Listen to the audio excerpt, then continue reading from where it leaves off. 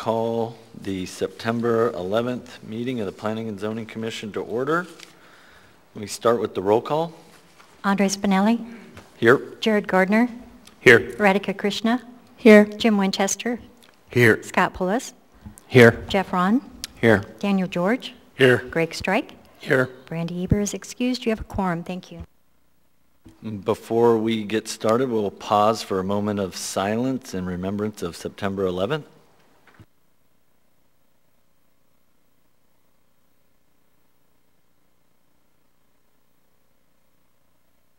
Okay, thank you for that. Um, Is there a motion to approve the minutes?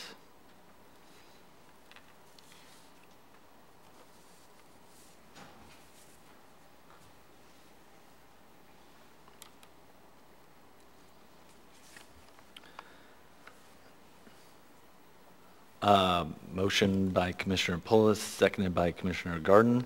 Gardner, any objections to the approval of the Monday, August 14th, 2023 minutes? Hearing none, that motion passes. Um, Any disclosures?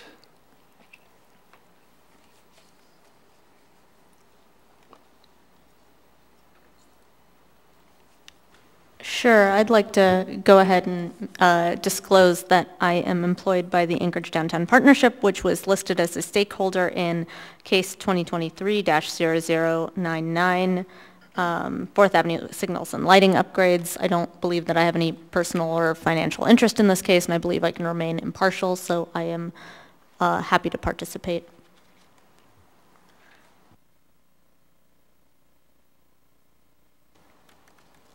Anyone else? Nope, hearing none. Um, I will disclose that I was absent from case 2023-0059 and 2023-0086, and will not be participating in the consent agenda.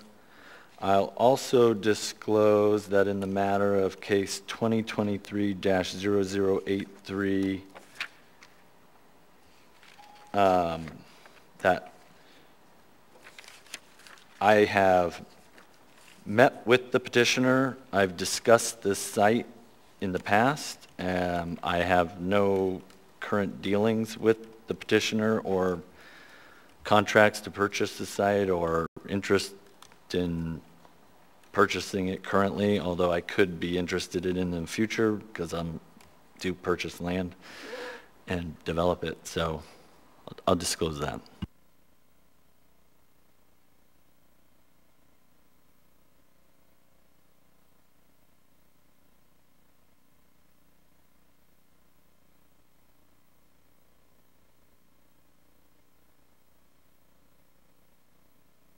I'll hand the gavel over to Commissioner Krishna. Thank you. I'll uh, entertain a motion to direct Commissioner Spinelli to participate.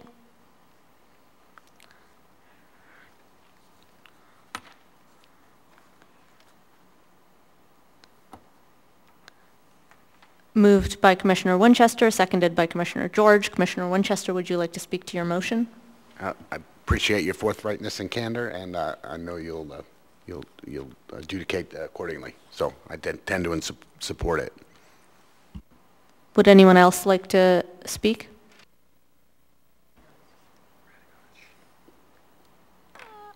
Commissioner Strike? Yes, and thank you for the commissioner for um, identifying the concerns.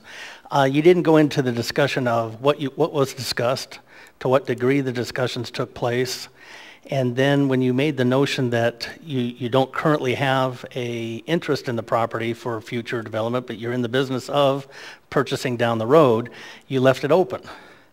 And it's, maybe it's the choice of words, but the verbiage that you use left enough openings that, in my opinion, would conflict you out of participating in this very case. Um, Unless you want to speak to the degree and level of the communications that did take place and the um, notion that this is, is not, or because you're in the general um, notion of buying develop, and developing property, well, if it's being redeveloped or it's being rezoned, the rezoning may encourage you to be in the position to say, now I am interested, because somebody else has gone through the process of getting it rezoned. So this is the conflict I see, and I don't know if it was the choice of words you used, but I think a little bit more elaboration would be in order. If I, I'll just respond to that. Um, As a real estate developer, there is absolutely no piece of property that is off the table for my future plans. Like, that's just kind of, you know, I got a large appetite for what I do. And so that's just brutal honesty. I, I couldn't honestly say that there's no, a piece of property that I wouldn't be interested in. And that would go for any case, whether I had met with the, the petitioner previously or not. Um, secondly, it's not that anyone else up here is in the business of buying and developing land, but anyone up here, in theory, could also participate in that activity if they chose to, on any case that they hear and then move forward in the future. So that's why I don't see it as a conflict. Ye- Yes, but none of us had the conversation with the petitioner prior to it coming before the commission. You're the one that had the conversation prior to. So I'm, I'm, this commission, I don't believe, is cognizant of the discussion itself and whether this was on an advisory discussion or to the depth and degree of that discussion, why it took, even took place. Yeah. Because, like you said, any opportunity to develop property is beholden to anyone in this audience, but none of us had the communications with this particular petitioner before it came before this commission. And therein lies the disclosure that you made. Would anyone else like to speak? Commissioner Gardner? Thank you. Um, I think for my part, I've always understood the conflict of interest um, kind of requirements as it applies to the commission to be focused on specific conflicts, given that we all are members of this community and we all have interests that are affected by the decisions we make here. I think to my end, from that perspective, uh, it seems like it would be relevant to have a better understanding of the nature of the conversation and, and when it took place and kind of what the scope of that was. Um, I I don't know, um, you know, uh, to what extent the chair feels comfortable going into those, but I- I- for myself, I don't know that I could feel comfortable saying there's not a conflict given what we know without just some, some context for what the conversation was.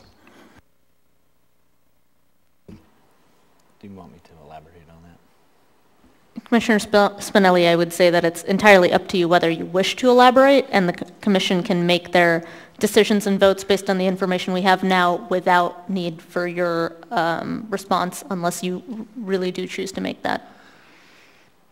Yeah, I mean, I, I got no problem saying that, um, we spoke on the phone a couple times, I want to say within the last 12 to six, like, from between six months ago and 12 months ago, I believe.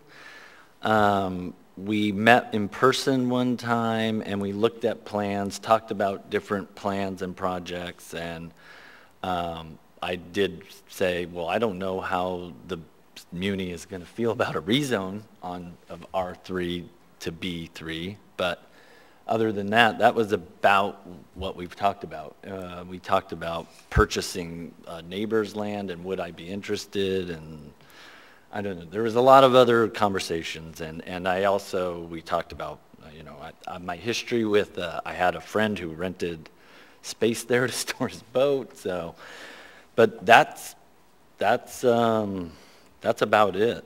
I mean, that's about all there is to disclose at this point. Um, and I guess I, I wasn't sure the petitioner was moving forward with the case until tonight. So I didn't, haven't been in communication with the petitioner currently. And that, that's about all of it, other than I will say, like, I'm fine, my feelings won't be hurt if I don't participate in the case also, so I'll leave it at that. Would anyone further care to comment? Seeing none, I'll call for a vote.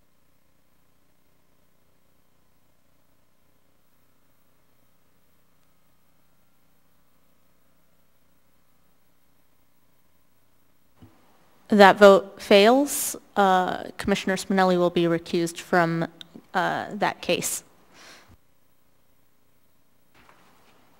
But first, I will hand the gavel back to him.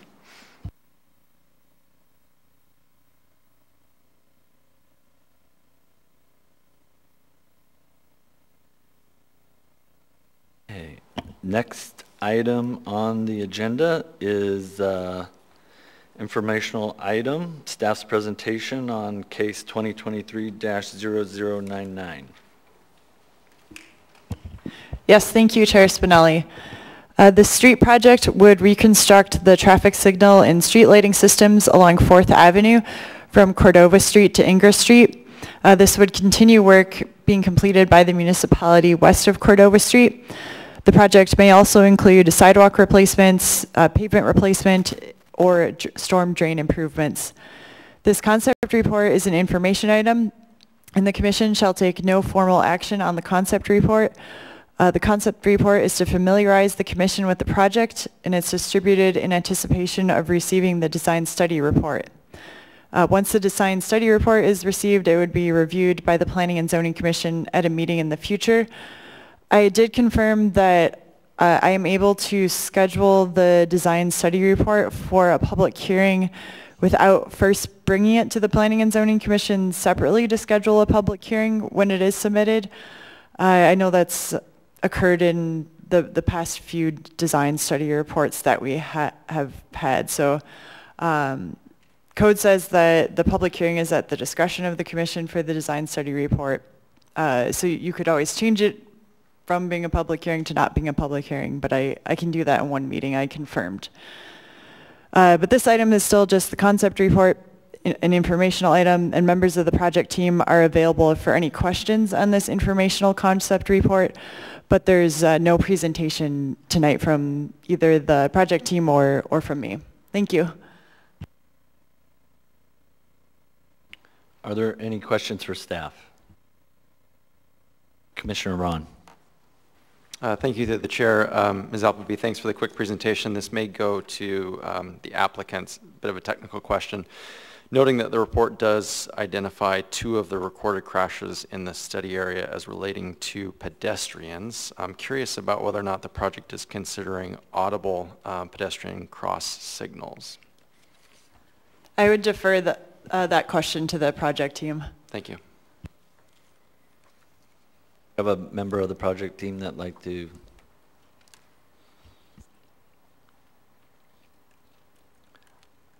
Uh, Please state your name for the record. You gotta hit the button until the red light comes on. There's a green square. You, you'll see this red light on the microphone when it, when you, when you get there.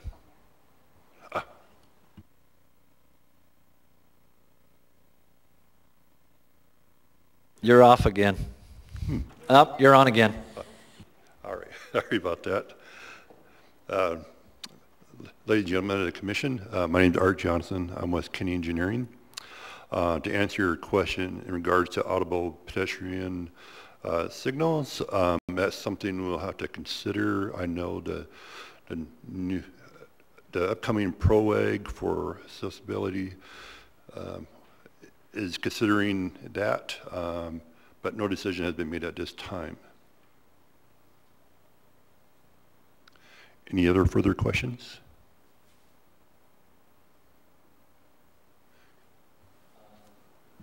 Yeah, we have a, they're lining up. Commissioner George. Uh, Thank you, through the chair. Um, I can't let the irony go unaddressed that uh, perhaps an audible signal would have been helpful here. Um, But uh, two quick questions, and maybe you can answer these or maybe not, but um, I noticed that some of the intersections that are uh, planned for upgrade, um, sidewalks and will have to be replaced in some cases. Uh, Will they be brought up to ADA standard with the the ramps with texture on them. And then uh, secondly, this may be completely outside of your bailiwick, but um, I noticed that parking meters exist just east of Cordova and Fourth. Is there any intention to install those further um, since pavement will be likely replaced in those areas? And this will be upgraded, so will there be additional revenue generation? Thank you. Uh, I I can answer that, Commissioner George. Um, As far as ADA accessibility at intersections, um, uh, we'll likely be replacing all the curb ramps along the corridor from Cordova to Ingra. That is because we're doing quite a bit of conduit work, and most of that work is taking place under the sidewalk. So that would require us to replace all the sidewalk and curb ramps to meet current ADA standards. Um, your second question had to deal with parking meters. Um, that, that's actually a purview of EasyPark. Um, we're, we're not advocating for extending any parking meters further east. Thank you. Um, Commissioner Gardner. Make sure I got my red light on here. Looks like I'm good to go, thanks. Um, My question, I, I noticed the reference in here to the, um, the downtown comprehensive plan identifying Fourth Avenue from Cordova to Eagle Street as an on-street bicycle connection, and I was just wondering if there's any aspect um, of that designation that is being considered um, for the, for the proposed design. Uh, for this project, we're focusing primarily on just upgrading the lighting and traffic signals in this corridor. Um, we're not looking at reconfiguring the street uh, from curb to curb. Thank you.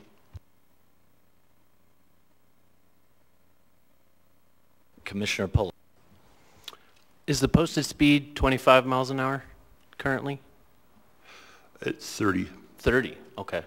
I just was noting that they're recommending for a, encourage average speeds of 20 miles per hour in the, in the planning document. So I was wondering, you know, the curb bulbs take care of that? Uh, they will help a little bit into constrict the travel lanes as one would travel through the intersections. But ideally, actually, the actual purpose of curb bulbs is actually shorten the pedestrian crossing distance. And as you may or may not know, there's actually a, a future downtown engineering study that's taking a look at speeds. Okay. Commissioner Strike. Thank you, and through the chair. Um, Signals, audio, lighting upgrades. I'm sure this study took place over the last year, year and a half, as it developed and brought forth before us. So my question is, what impact has the new municipality regulations had on the relaxation of pedestrian crossing, have on the impact of the way that we plan because right now, you plan on where pedestrians are going to cross, but I believe we have new regulations that said pedestrians get to cross anywhere they want. Jaywalking's legal. Uh, this project is not looking at uh, mid-block crossings of, of the street. It's primarily just taking a look at um, maintaining the current existing signal system, upgrading it to current standards. Um, but it's, it's replacing curb ramps where they currently exist. I think at one location, I think near Hyder, there's a mid-block crossing there. I guess, so we're not attempting to address, I mean, one of the other commissioners identified that there were pedestrian ac- incidences that have occurred in this area, typically not at cross signals. Um, You've got parallel parking along the side of the street, which is conducive for blind spots obviously. And so, in driveway, yep. So, uh, this plan here doesn't address the way the municipality is going to be operating in the near future. It doesn't address midway cross pedestrian. And so in one, in one respect, unless you're abiding by these traffic signals, that's the only protection one really has. So we're not taking any consideration into the new municipal standards that pedestrians have. I guess I'm looking at is, do you see this as a gap? I don't see it as a gap because I understand there's this upcoming downtown signal engineering project. Actually, not just signal engineering, it's, it's the downtown streets engineering project that the planning department has um, is taking a look at speeds in all of downtown. It's looking at um, one-way, two-way conversions, and, and it's taking consideration of, of bike lanes and complete streets. I guess my concern is that in cities that have adopted something similar to what the municipality has, you see cars no longer parallel parking on the side of the street, but at a 45 or at a degree angle, so to create visibility. And these streets aren't getting any wider unless you're going to cut into the private property on the other side of the sidewalks or the sidewalks themselves. And that's my concern here, that um, this is a great step forward, but I think the, the landscape has changed in the last six months that maybe we're fixing the, the wrong problem. That's my concern, so I'll get off my soapbox there. Thank you. Thank you, Commissioner. Commissioner Polis, are you back in the queue? Yes. Okay, go ahead. Just one more comment, and this is more of a heads up, I think. Um, It makes sense you guys can't put a lot of uh, green infrastructure stuff into the project. It's eight foot and five foot sidewalks. You can't squeeze a lot in there. Um, Have you guys discussed this with the stormwater department at all? Um, It's been my experience lately that they're taking a, you know, no, no is not an answer to them, um, and they, they really like squeezing that stuff in where they can. Um, Any discussion about that? Uh, this time, we have not had a discussion with the stormwater people. Um, Like I said, we do note that some of the sidewalks are narrow downtown, and there's probably, maybe opportunities to comply with Title 21 and make some of the five-foot sidewalks a little bit wider by stealing some of the space in the through lanes, which are extra wide.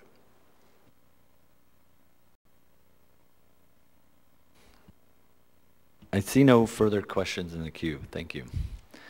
Um, I did hear a comment from staff regarding a public hearing. Um, I believe that similar to the Mountain Air Drive case, they'd like to get the public hearing scheduled up front if the commission thought there was an appetite to do so. Is that, did I hear that correctly? Uh, Chair, uh, Chair Spinelli, I, I think so. I, I was saying that uh, when I do receive the design study report application, I would just request it to be a public hearing on the agenda, but the commission doesn't need to make a formal motion tonight for that. Uh, Okay, I was just going to ask the commissioners, if you wanted feedback from the commission, I was going to ask that. Otherwise, I'll just leave it alone.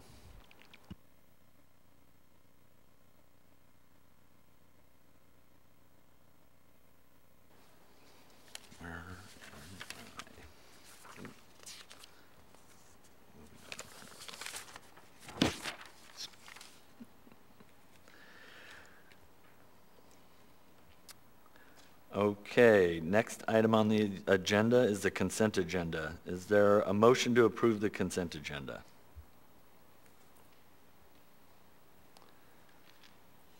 Moved by Commissioner George, seconded by Commissioner Pulis. Anyone wishing to pull any items for discussion? Hearing none, is there any objection to the consent agenda? Hearing none, that motion passes.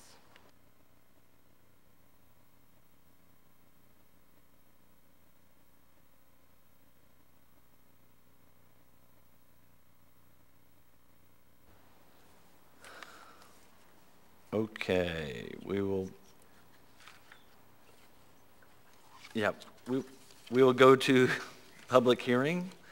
Um, I will first read the procedures for public hearing. The procedures by which the public may speak to the commission at this meeting is one, after staff presentation is completed on a public hearing item, the chair will ask for public testimony on the issue. Two, persons who wish to testify will follow the time limits established in the commission rules and procedures. Petitioners, including all his or her representatives, receive 10 minutes. Part of this time may be reserved for rebuttal.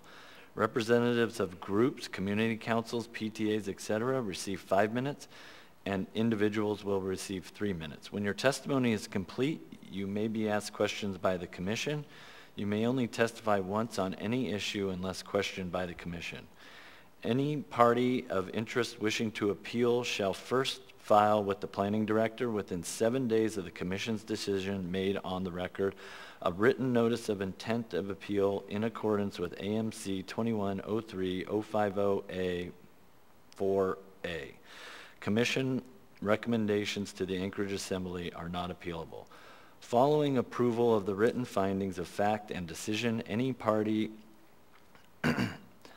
of interest may within 20 days file an appeal by filing a notice of appeal and paying the appeal fee and deposit in accordance with section 2103050. The notice of appeal must be filed with the planning director on a form prescribed by the municipality.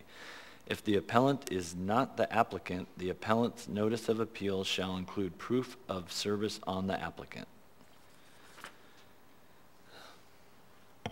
And now we are ready to hear, excuse me. Yeah, I'm not sure if, I thought at one point there was discussion about co- conjoining two of the cases. Yes. Would you like to make a motion to combine case 2023-0078 and 2023-0079? Perfect. Yes, I would make that move. Um, To combine public hearing cases 2023-0078 and 2023-0079. Motion by Commissioner Strike, seconded by Commissioner Polis. Are we going to formal vote? Okay, any opposed to that? Hearing none, motion passes.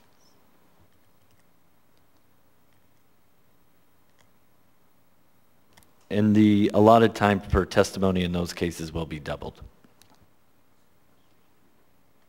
Now we will move on to case 2023-0078. Can we hear staff's presentation, please? Yes, thank you, Mr. Chair. Chugach Electric Association is requesting a conditional use to upgrade and expand the Campbell Lake Substation, an existing electrical substation at 1000 Southport Drive in the R1 zoning district. CEA is requesting variances from landscaping and fence height requirements. This is uh, packet uh, G2 um, for the benefit of the commissioners and the public, uh, case 2023-0079 that I'm presenting first, and then we'll um, uh, go to the next case. The Planning and Zoning Commission um, approved uh, the original substation with Resolution 161-75 in 1975. The surrounding neighborhood is composed primarily of single-family homes on individual lots.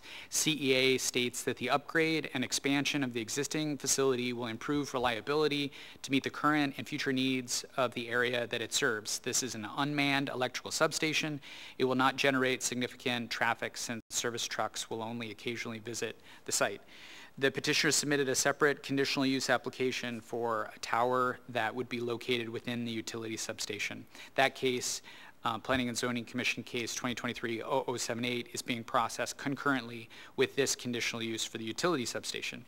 None of the reviewing agencies objected to this conditional use request. Um, the one for the utility substation with the variances for fence height and um, landscaping. The Traffic Engineering Department and Right-of-Way Division both commented that the driveway must be paved. Um, this should be a condition of approval. Uh, a total of 168 public hearing notices were mailed on August 7th, 2023. Um, the uh, commission has a supplemental packet um, containing a resolution from the uh, Bayshore Klatt Community Council and an email from its president. The resolution um, states its opposition to um, the, uh, the tower um, height and and what it says in the, the resolution. Um, in terms of the approval criteria for um, a utility substation, um, the planning department finds that the approval criteria for the station, a substation rebuild um, is met. Um, in regards to variance number one, um, this uh, variance request uh, from site perimeter landscaping to allow a reduction in landscaping along the east lot line adjoining Southport Drive. Um, the code requirement is L2 buffer landscaping along the east lot line uh, because the official streets and highways plan identifies Southport Drive as a major, a minor arterial road. Um, the landscape plan shows 58 shrubs and 10 trees instead of the 44 shrubs and 15 trees. The planting bed width would um, be reduced from 15 feet required to a varying width between 4 feet and 17 feet. Um, The planning department finds that the approval criteria for the landscaping, um, site perimeter landscaping requirement, approval criteria for this variance is met. Uh, The utility needs to place uh, switch cabinets and vaults outside the fence substation near Southport Drive for easier access in the event of a power outage. Power outages are common in Alaska and have dangerous consequences, especially in the winter. Um, Rather than uh, a total elimination of the required landscaping, the landscape plan shows an increase in the number of shrubs and a reduction in the number of trees.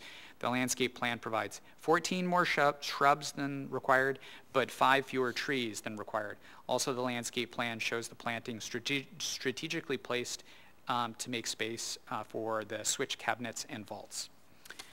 Variance number two, the second variance requested is from the maximum height to allow an ornamental screening fence to exceed the fence uh, height limitation.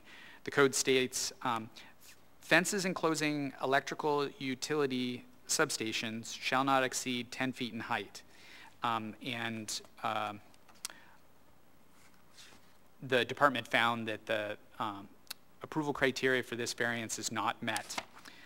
Therefore, the department's recommending uh, approval for the variance from uh, not having to provide uh, L2 buffer landscaping along the east property uh, boundary adjacent to Southport Drive. Um, The is recommending denial of the variance uh, from the 11 and a half foot uh, tall fence, um, which is required to be limited to 10. And uh, the department recommends approval of this conditional use for the utility substation, subject to conditions one, two, and three on page 12 of your packet. And the first two conditions of approval are standard. The third one is just about the paved driveway. Thank you. And uh, we'll turn to Mr. Odell. Uh, Thank you, Francis. Thank you, Mr. Chair. So this is case 2023-0078, and this is a request for a conditional use permit for a Type 1 microwave communications tower in the R1 district. Uh, Chugach Electric Association is expanding its communication system to allow new microwave radio control links for its control systems. The purpose of the communication tower is to provide a microwave radio link to other existing CEA substations by line of sight. The proposed height of the tower is required to clear the tree line and create a direct line of sight to CEA's other substations referred to um, as Raspberry and Rutherford. Uh, CEA states that the upgrade of the station and new tower will improve rel- reliability to meet current and future needs of the area that it serves. The R1 district allows a Type 1 tire that does not exceed 65 feet, provided it meets the 200% of the maximum allowable or actual tower height from any principal structure on residentially zoned land. The proposed tower exceeds that 200 foot, or 200% separation from any neighboring principal residential structures. In the, in findings for the conditional use approval criteria, staff finds that condition one has been met. Uh, Anchorage 2020 comp plan talks about communications and that proliferation of transmissions and receiving facilities uh, is likely and that issues are those uh, of increased capacity and speed for voice, video, and data transmissions and possible visual and other impacts associated. Staff finds that condition two is met. The proposed type 1 tower is allowed by conditional use permit in the R1 district. Staff finds that uh, condition three uh, is met or may be met by conditions of approval within this uh, staff report. The minimum separation distance is met. The tower is 65 he- feet high, and the nearest protected land use is a residential structure approximately 137 feet southeast. Uh, Tower, uh, item C has been met with the tower height. Uh, D has been met with co-location. Uh, CEA is not going to be co-locating other commercial or cellular telephone services on this tower. This is due to the placement of the tower within the electrical substation and associated security and access concerns. Uh, For condition G, uh, 1 and 2 in 1, the standard is not met but can be met. So the tower is surrounded by a proposed 11 and a half foot tall ornamental screening fence with barbed wire or chain link gate with vinyl slats, which is prohibited when within a residential district. A requested condition of approval is to replace the chain link gate fence and remove the barbed wire with a side obscuring fence that meets the standards or obtain a variance. Uh, in item two, in residential districts within or within 150 feet of residential districts, Security wire, such as barbed wire, is prohibited. Uh, This standard is not met, but it can be met. The proposed fence has barbed wire, which is prohibited within a residential district. However, condition of approval will be to either um, comply with the standards or obtain a variance. Uh, Visual enhancement landscaping, under item three, uh, the standards met. The associated case that Francis read, 2023-79, for the proposed substation requires L2 buffer landscaping, which is a higher requirement standard than the L1 visual enhancement la- landscaping. Security standard has been met. Um, I, separation distance, towers shall maintain a spacing of one half mile, and that standard has been met. The nearest tower is three quarters of a mile to the northeast. Uh, Installation of antennas, that standard will be met and installed in accordance with FCC, uh, ANSI, and NIER regulations, and they'll have to uh, get it, upon approval of the conditional use, they'll have to get an antenna permit. For K, tower lighting, standards met. FAA does not require lighting for this tower. Equipment li- lighting, L, the standard is not met, but it can be met. Um, the- In the petitioner's application, they, they state that security lighting is provided and maintenance lighting will only be turned on when personnel is in the facility. Um, And ambient lighting, wh- when it's not sufficient, you know, they'll have to turn on work lighting. Uh, However, there was no details provided to show shielding of the lighting and how it's directed toward the ground. So that's, been- re- staff's requesting that as a condition of approval, which they can meet. Um, Tower color, standards met. The galvanized steel tower will be gray and blend in with the sky. Uh, M, identification placard, that as well can be met, um, and that's a condition of approval. Uh, Time period for construction, the applicant states uh, they're looking for spring of 2024. And in the conditions of 2105040K8, which telecommunication facilities, type 1 tower setbacks, the standards met. Um, For, this is for setbacks from the, uh, the vertical axis of the tower structure is 28 feet on the west 100th Avenue side and 30 feet on the Southport Drive side, which exceeds the R1 minimum front setbacks of 20 feet. And then in four, uh, the site size and dimensions standards met. Um, as well as five, the standards met. The proposed tower and facility will not limit, impair, or prevent any of the surrounding residential religious uses. Uh, Six, the standards met. Use compatibility does not to be, appear to be an issue as the site's been in location since 1985. Uh, The proposed tower meets the, the um, compatible use of scale, traffic, noise and vibration, and lighting.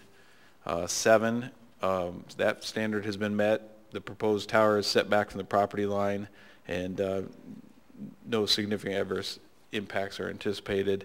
Um, Standard eight has been met. The official streets and highway plan identifies Southport Drive as a minor arterial, and that section of West 100th is a collector. And the site has an unpaved driveway, which is a condition to uh, pave that driveway as part of the packet.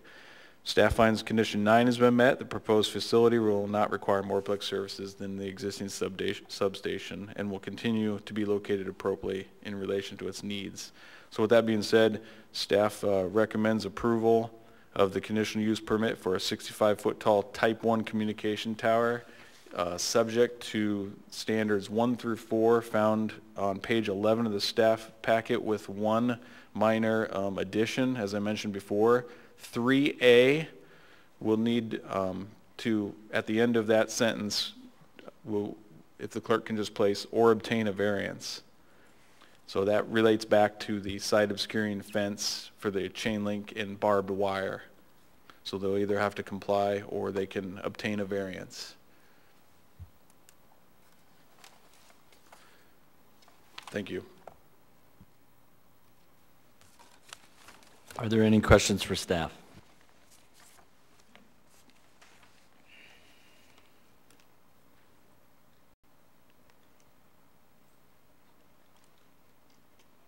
Seeing no questions for staff, we will now hear the petitioner's presentation. Please state your name and you will have 20 minutes. Mike? Hi, uh, I'm Casey Volk with Three Tier Alaska, consultant for Chugach Electric Association for the permitting of the proposed Campbell Lake substation rebuild. Firstly, I want to thank the Planning Commission and thank the staff for their uh, report presentation. Uh, The purpose of this hearing is to request Planning Commission approval to issue a conditional use permit, case number 2023-0079, to rebuild the Campbell Lake Substation, together with design variances from Anchorage Municipal Code 21.07.080 H.3 uh, regarding fence height, and Anchorage Municipal Code 21.07.080E, E, Table 21.07-1, landscaping specifications. The Chugach Campbell Lake Substation is located on the corner Southport Drive and 100th Avenue. It has been in service since 1976, distributing power to South Anchorage, including the Bayshore Klatt community. Due to aging equipment and safety concerns, Chugach has determined that the substation rebuild is necessary. Additionally, rising electrical demand requires the substation be rebuilt with added capacity to increase reliability and support load growth in the area. This project is a complete substation rebuild. Chugach will be retiring all existing equipment, including the existing fence and tower. The rebuild will include upgrading the substation to meet current uh, industry codes and standards. The proposed improvements include a second power transformer, a new ornamental fence that is compliant to National Electric Safety Code for site security and public safety, new landscaping that includes trees and shrubs, in addition to a new communication tower to increase reliability to the substation and provide uh, remote advanced metering infrastructure, AMI, for Chugach customers. The communication tower will be discussed momentarily by Ms. Sierra Larson as new, uh, as the new communication tower is covered under a separate conditional use permit. In addition to the conditional use permit, CEA is seeking two design variances. First, CEA is seeking a design variance for the proposed 11 and a half foot fence around the Campbell Lake substation. The increase in fence height will enable Chugach to be compliant with National Electric Safety Code regulations and cre- increase safety and security at the site, as well as provide a more attractive screening of the substation. However, at this time, CEA is willing to withdraw their request for an 11 and a half foot fence and will compromise with a shorter 10 foot fence. Second, CEA is seeking a design variance to allow relief from current L2 landscaping requirements along the eastern frontage abutting Southport Drive. Substations are secure locations that require special clearance to enter. Due to heightened security measures, substations generally store switch cabinets and vaults outside of substations. The purpose of installing switch cabinets and vaults outside of substations is to ensure the proper that the proper maintenance crews have quick access to the equipment in the event of a power outage. Maintenance crews are able to restore power much quicker if switch cabinets and vaults are installed outside of substations versus inside the substation. Additionally, restoring power quickly results in better reliability for all Chugach customers.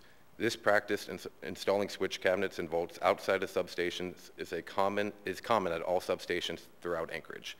The Campbell Lake Substation Rebuild Project will involve the in- installation of three new switch cabinets and one vault adjacent to an existing vault along the eastern frontage of the substation.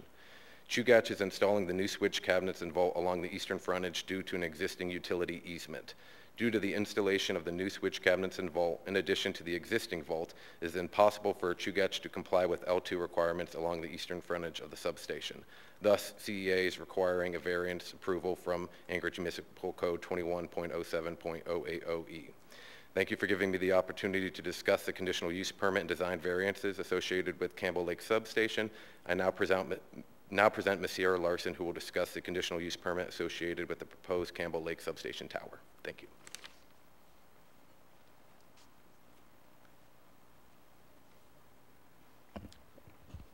Good, this lowers. Okay. Um, Thanks, Casey, and thank you, the commission and the staff for your reports. Um, I'm Sierra Larson.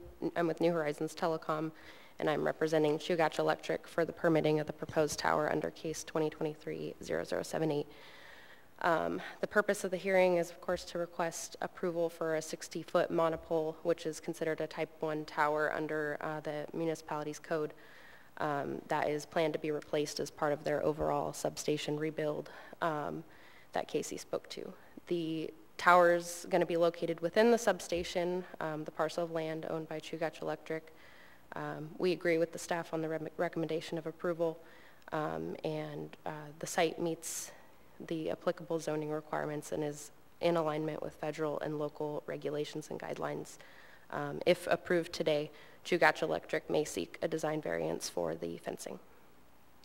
Um, Brief overview, tower um, currently located in the substation is uh, about a 20-foot tower uh, was not sized for current needs and is not sufficient for the amount of data that is now required. Um, As technology is developed, so do the needs for more bandwidth and capacity. Uh, The purpose of the tower will, um, to be installed, uh, two microwave dishes four feet in diameter, in addition to security cameras and AMI antennas, uh, which is for advanced metering infrastructure. The new tower will add additional data capacity, redundancy, and a protective relay scheme for the power system. Um, As mentioned, the maximum height in the R1 district is 65 feet. We're proposing a 60-foot tower with a lightning rod on top for a total structure height of 65 feet. Um, This height is needed to allow a line of sight above the tree line um, for CEA to provide the required microwave shots to their other substations. Um, The tower is not planned for cellular use, but for the power utility's own essential microwave communications and remote control systems. Um, The tower is critical in supporting reliable and efficient power distribution and quick response to outages and remote monitoring of their system. Um, In conclusion, the Campbell Lake Substation project represents a critical step forward in ensuring re- reliable and efficient distribution of power to South Anchorage community. Uh, With aging equipment, safety concerns, and the growing demand for electricity, a complete substation rebuild is not only necessary but essential to meet the needs of the community. The proposed improvements, including the new transformer, communication tower, ornamental fence, and landscaping, all adhere to industry, industry standards and enhance the overall security and safety of the site. We believe that the proposed project not only meets zoning compliance, but also offers tangible benefits to the community. In light of the project's alignment with re- regulatory requirements, benefits to the community, and CEA's commitment to providing service, we respectfully request your approval of case 2023-0078 and 79 uh, for the, for the communications tower and substation rebuild, um, along with the design variance. We believe that the project will contribute to a more resilient and reliable power supply for South Anchorage, uh, reinforcing CEA's commitment to powering the future. Thank you, and any uh, remaining time in the presentation will be reserved for questions. Um, Your time can be reserved for rebuttal, but, and Or- questions are free. Sorry, that's what I meant. Thank you. Um, Commissioner Strike. Yes, thank you, and this is for New Horizons. This may seem like an odd question. Who will physically or actually own this tower? Chugach Electric will. Okay, so New Horizon, will they be, you're just here for the permitting process? Yeah, we're a consultant for them for the permitting process. Do you correct? not also build towers and operate towers on behalf of other telecommunications? We do, yes. Okay. So th- this goes to the next heart of the question. If you're building a 65-foot tower, how you choose to use it with the five-foot um, lightning rod? Yep. Why not use it for other communications? Um, In, or- I mean, we're, as, as a, as a community, as we try to minimize the number of cell phone towers or other communication towers around, here's one that's now being put in place in a key area. Might it also behoove a commercial application to, Yeah, no, thank you for that comment. Um, uh, Chugach Electric has, um, be, with it being a substation, it's got a lot of critical infrastructure in there and some specific safety and um, access requirements that don't necessarily, um, I guess, align with a typical tower site where you're required to give carriers 24/7 access for maintenance and replacement of their equipment. So it's, while not impossible, it is uh, not a good option just because of the access requirements and the security in a substation. and I, and I saw that, and I just, in looking at the, um, your own company does this work. Chugach has chosen you to consult and build this tower and put it in place, so therefore they've got the confidence in you. I'm just, I'm not, I'm seeing a little bit of a dichotomy here as to why it's, you know, with your, with your company at the helm there, couldn't also be used for commercial. I'm just trying to minimize the number of impact of other towers that might prop up in the area in the near future. But if we're taking all cell phone and all future communication tower applications off the table, because that's what the application says, that's what you've gone in writing, I just wanted to clarify that. You're taking them- all commercial applications off the table. Am I- uh, Can I have a CEA representative come up and and speak? Thank you. Hello, Commissioner Strike. My name is Peyton Reed. I am the manager of the Transmission Engineering Department at Chugach. Uh, So we tend to keep co-location out of our substations uh, where we can't separate it completely because of the requir- requirement for qualified personnel to be the ones that have access to our substations. So we couldn't safely let someone who works for a telecom utility into a substation unless they could qualify as a person who is a, uh, who can be in a substation, so like a lineman or one of Chugach's engineers. And they tend to not have those people. So we would have to have a safety watch anytime someone would need to access the substation. So they tend to also not want to be in our substations. Because then Thank they you. can't access Okay. our equipment. Thank you.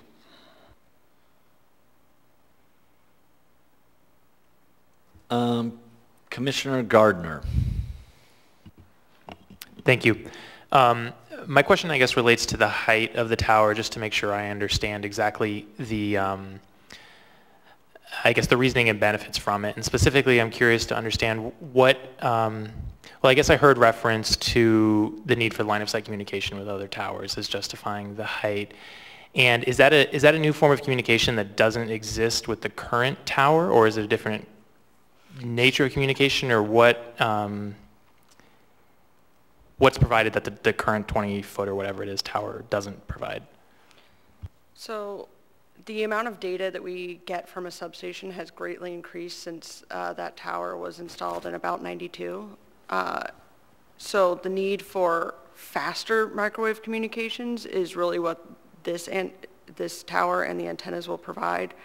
I- It's a much faster speed than the current system can provide, so we get better quality and more data back from our substations uh, to be able to monitor and control equipment. We can't really do that now with the slower speeds and the amount of data that the current tower can process.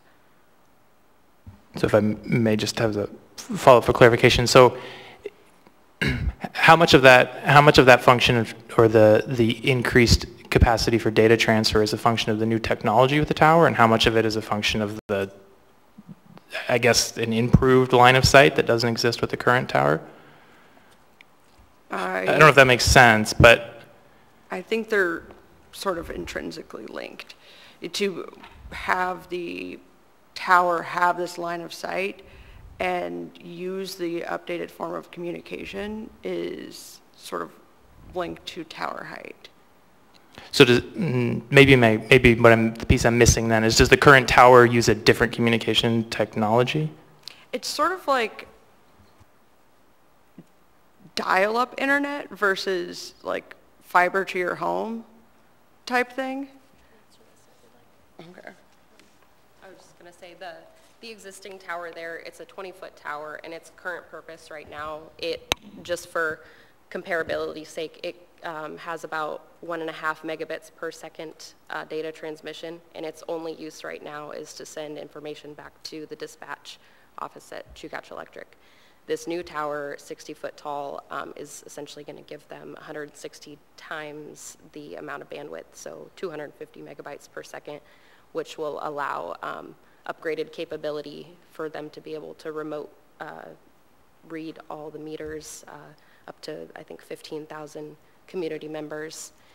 Um, The microwave and the meters are two different systems. Yes, so um, it's just the amount of data transmission that's going. So the microwaves will allow them to transmit all the data to their other substations and back to their headquarters. So Thank you. hopefully that answered. Thank you. Okay, moving on to Commissioner Ron. Uh, Thank you through the chair. My question is about tower design. I believe I saw in the packet some prior references to a lattice tower, and my understanding is we're looking at a monopole now. Can you speak to that evolution, please? Yes, so we went to the community council uh, for our uh, presentation to them, and they expressed that they did not like the lattice tower that we were originally proposing. They would prefer a monopole, so we made that change out um, so that it would look more like a light pole from the ground.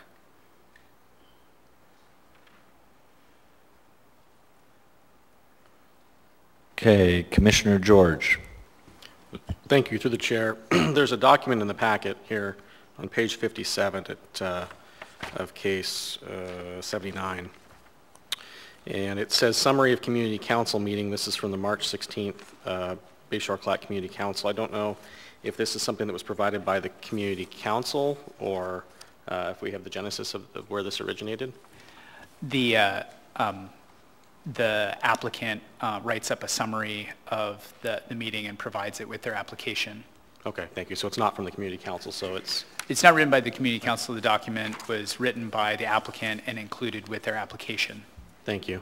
Um, So there's two questions in there, and I I apologize if you don't have a copy in front of you. I'll I'll just read the two questions because um, they stood out to me a little bit, and maybe the design has changed along the way. But um, the first question is, could the 20-foot antenna meet the same function as the 60-foot tower?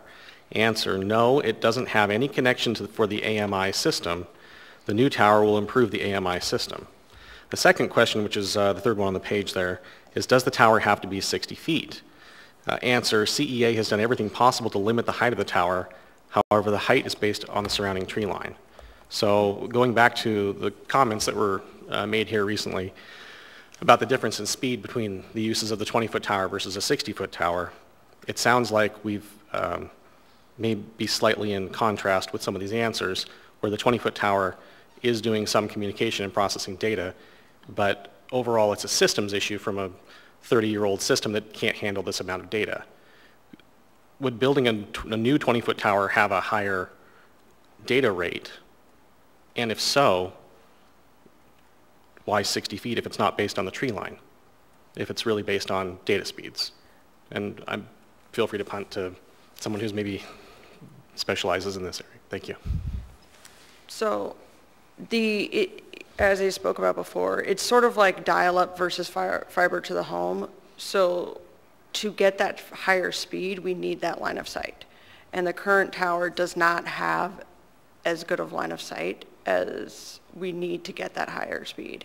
And to process the amount of data that we would be getting from the substation, uh, to support the second transformer, to support the uh, modern equipment that modern, monitors the substation that we didn't have 30 years ago, to support the security cameras and everything else in the substation, you need that higher speed of data, that faster connection. It really allows our, our dispatched to monitor what is happening in the substation and respond in a much quicker time. Thank you. And maybe you can help me understand. Uh, maybe you can help me understand uh, if there's, uh, or, or, or parse this out a bit. It sounds like, um, so if it's purely based on line of sight, um, how do we come up with, with 60 foot? Is, maybe we, you can help me understand a little better why we've got data transmission now, but at a slower speed.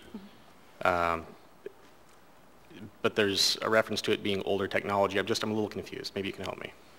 So it's sort of all of it together. We do have an older system. Uh, We do have a not of great line of sight, so it's, it's not as strong of a connection as we would like. Um, And it- you can see in our renderings here, the height of the trees that exist there that we're just trying to see over, um, that 30 years ago weren't as tall. Uh, So we're trying to plan out and create a stronger system with a better connection um, than we have now, sort of like upgrading from a 3G system to a 5G system, I guess in cellular terms. Uh, Does that help at all? A little bit, thank you. I, Uh, I'm, we may get to discussion as a, as a body, and, and uh, I might be the only one with these concerns, but I, I appreciate your No. answers, thank you. Uh, I appreciate the questions. Um, So, so does that answer your question? Maybe I haven't thought my question through well enough. Maybe it's a fair way to put it. Thank you. Okay, Commissioner Krishna. Um, I'll ask the question about why here, um, which is another question that I saw from the community. So, um, you know, I guess the place to start is how many substations or, or towers of this sort does Chugach have across the bowl, and how many do you need for adequate coverage of your service area? And I, I guess I'll just ask the question of um, why is this the location that this tower needs to be in? Why couldn't it be a mile away or at a, the, the next substation over? So in order to get data back, we would have to have some way to get that data to the tower.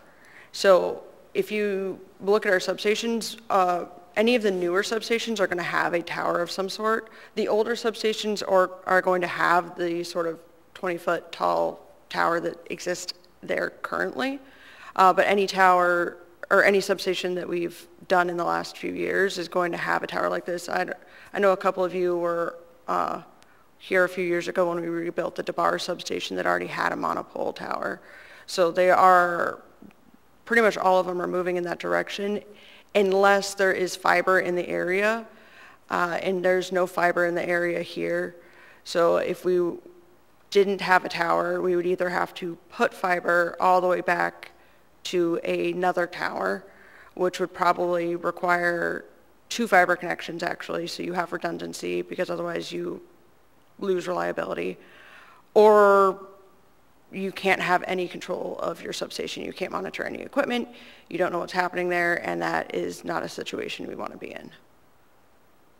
Thanks. I just have one follow-up question, which is what is the height of that DeBarr um, Road tower or any of the other towers that are, were built at the new substations?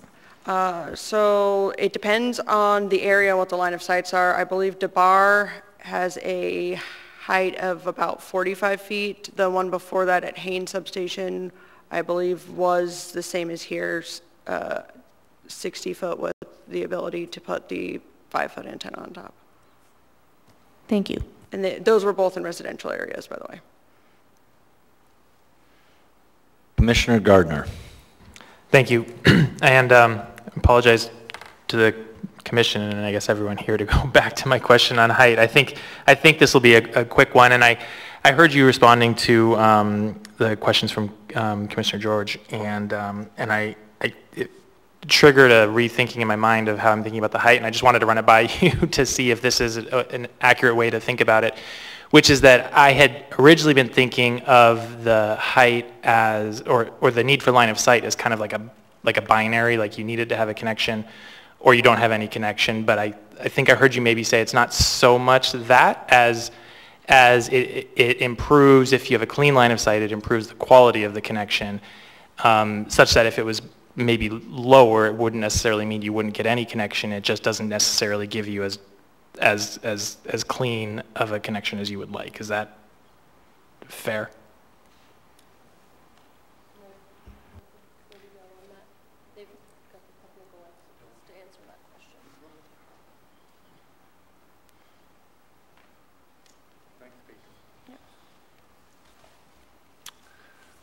Um, good evening. I'm Paul Johnson. I'm the Vice President of Control and Communications. So I think I can clear up some of that line of questioning.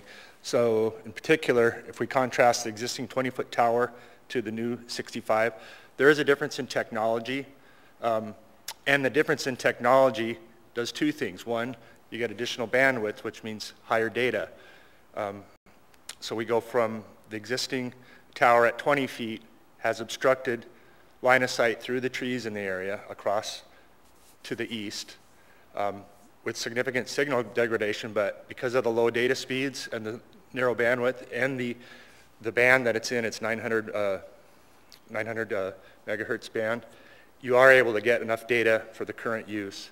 Um, at some point, that path will even be obstructed. I think we're down from, typically you want to operate those at about neg 60 dB and I think we're about neg 75 right now. So we're, we've cut in significantly into the fade margin we have for that path. So at some point, even the existing 20-foot tower with the, with the trees growing up around it will cease to operate.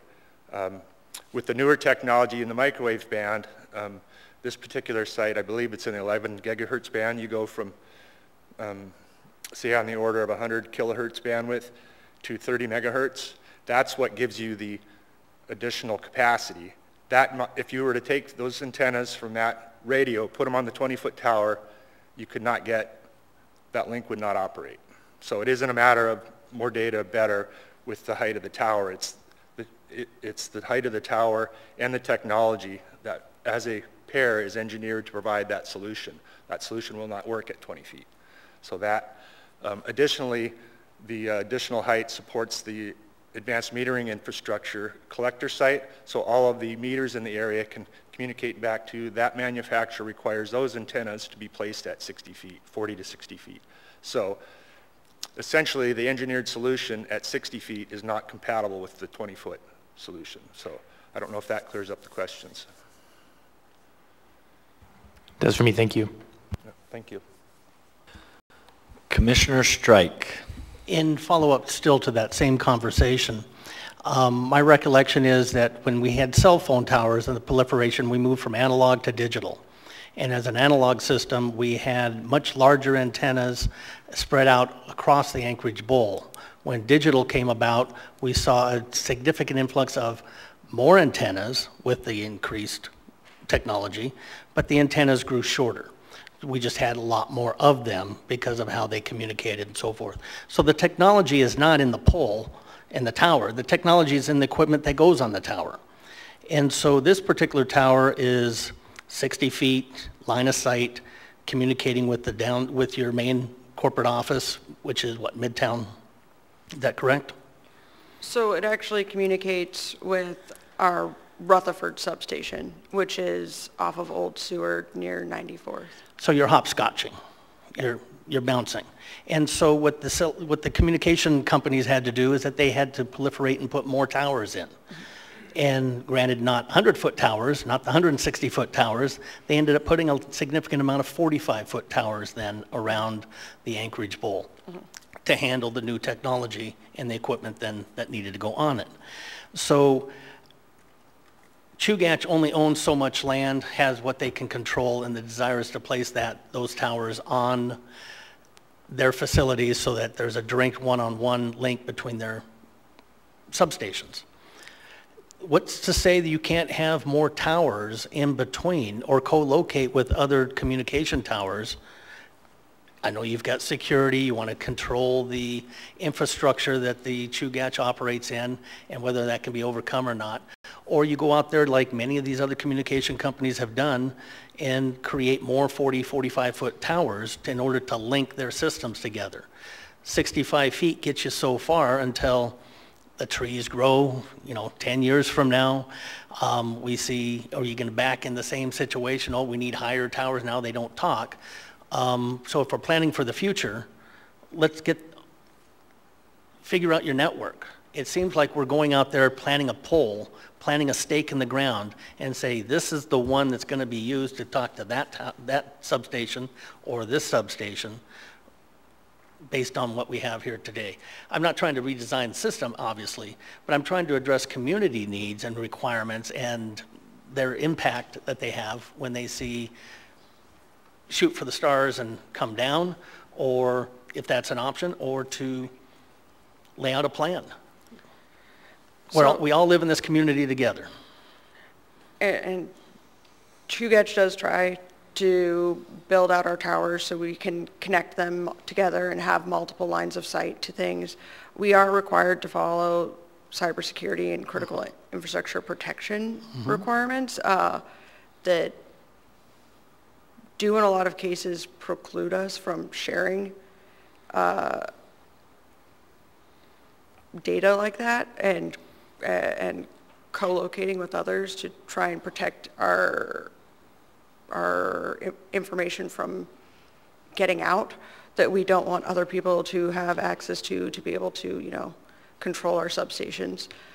Uh, So we, we are sort of limited there in what we can do. We, but we do put up towers where we can, and you'll, that's why we have towers in, in a lot of our substations in the, in the legacy Chugach system. You'll notice towers in pretty much every substation. In the legacy ML&P sta- uh, stations, um, there is some fiber downtown, so you won't, won't see towers there. How far away is fiber to this site?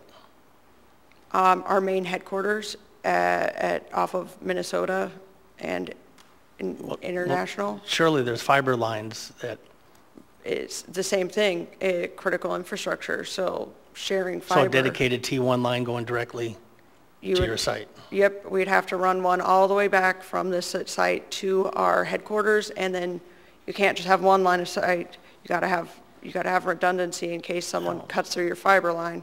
So you'd have to run a second one all the way to the nearest substation, which is most likely Rutherford. I mean, there are, there are bandwidth within cyber, within fiber that you can have dedicated fiber that comes into one site or another. And I didn't mean that you're sharing data, you're just co-locating equipment on the same pole. Doesn't mean that you're sharing data. No, I- it's, it's that we would have to lease the fiber from someone else, so we would not have control of it, and that runs us uh, against the critical infrastructure and, and cybersecurity protocols that we, Now, is that a law? Is that a regulation? Is that a requirement? Is it's, that a it's a regular, desire? it's a regulation that was adopted by the rail belt utilities uh, and is uh, part of what the new electrical uh, reliability organization Okay. is going to monitor and control. It's based off of the NERC ones in the lower 48. Appreciate the education, thank you. I see no more questions. Oh. Commissioner Pulis. I'm going to tone it down a notch on the tower and just talk about the wall one time. Um, So it's, you guys are proposing a 10-foot high wall, which is allowed up to 10 feet, but then you're adding a foot and a half barbed wire on top, correct? So the wall itself was going to be 10 and a half feet and then a foot of barbed wire. Oh, And we were going with the taller wall to block more of the substation view, uh, to make it nicer looking for the neighborhood, but if, but if we can't do that, then we can't do it, and Well, I wanted to follow up on like, it's the National Electric Code for the height of that wall. It starts at seven feet, is that what I read? And then, so I'm just wondering how you guys went from seven feet to the 10 and a half. What's, what's the connection there? So it's, the NESC, the National Electric Safety Code, gives a base height of seven feet that you have to have, but we often get more than three feet of snow here, like we did last winter. So you get three feet of snow, if we started at a seven-foot tall fence, you're below that seven feet. So we went with uh, a 10-foot tall fence, but then chain link only comes in one-foot increments. So we ended up with the Chugach standard of a 10 and a half foot fence, nine and a half feet of, of fence height, and then a foot of barbed wire on top so that we could have six inches of the fence below grade um, to help prevent anything from getting under the fence. Um, And so we were going with that still as our standard because that's, our gates are still made out of chain link. I think Commissioner Strike and Commissioner Spinelli were here back when we discussed the uh, amendment to the code uh, and with the allowance for the gate still being a, a chain link even with an ornamental fence. So we were trying to match our gate height to the fence height so it didn't look weird. And just one last question. Um, Has either, anyone asked the two neighbors that can see the wall if they have an opinion on the situation? Um, We mailed out letters to everybody. Uh, No one had any comments on the wall height, actually, Okay. O- only on the tower. Thank you. I think we are done with the questions. Thank you. Okay, we will open the hearing to public testimony. Individuals have six minutes and groups have 10. Anyone wishing to testify?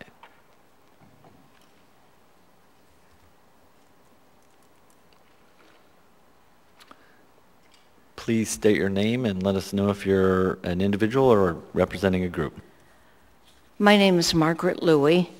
Uh, I should disclose that I retired uh, from Chugach Electric uh, eight months ago. So I don't have a conflict of interest, but I did want to disclose that. Uh, Ladies and gentlemen, I Can you please, I'm sorry, can you please spell your last name? L-O-U-I-E. Thank you. Uh, Ladies and gentlemen, I stand before you today on behalf of the 789 homes in our beautiful community to express our deep concerns regarding the proposed installation of a 65-foot monopole tower by Chugach Electric at the entrance of our subdivision.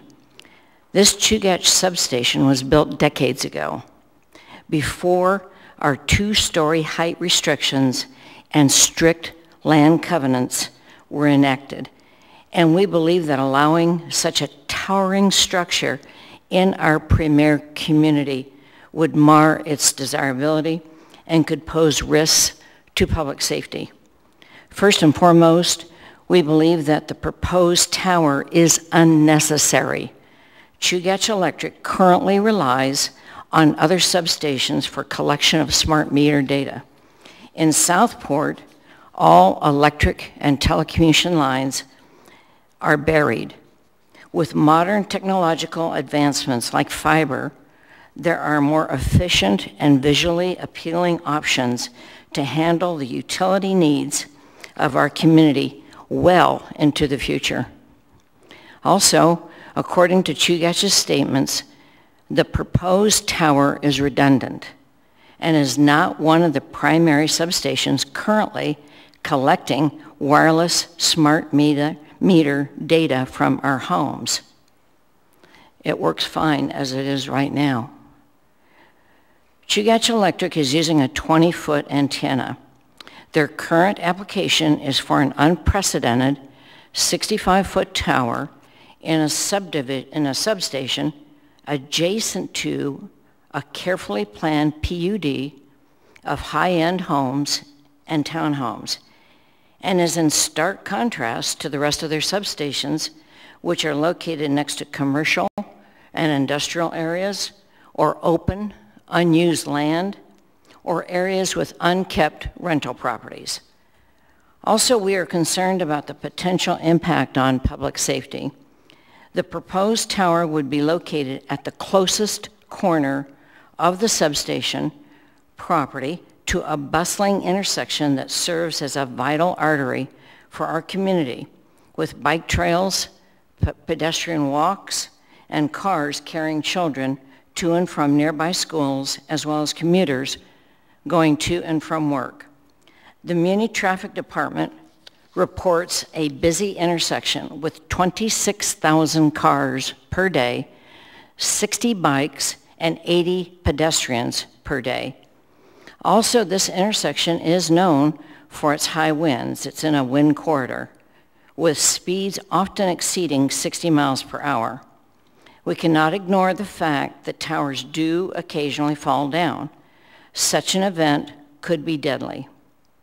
In conclusion, we urge Chugach Electric to be a good corporate citizen and neighbor. Together we can work towards a solution that preserves the beauty of our neighborhoods, ensures the safety of our residents, and modernizes Chugach's aging substation in compliance with Homeland Security's requirements for electric utilities. Thank you for your attention and consideration.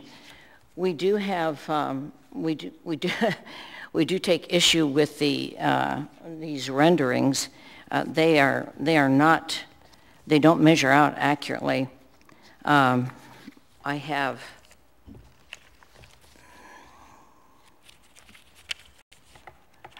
this, this is what uh, 65 feet looks like. There are no trees.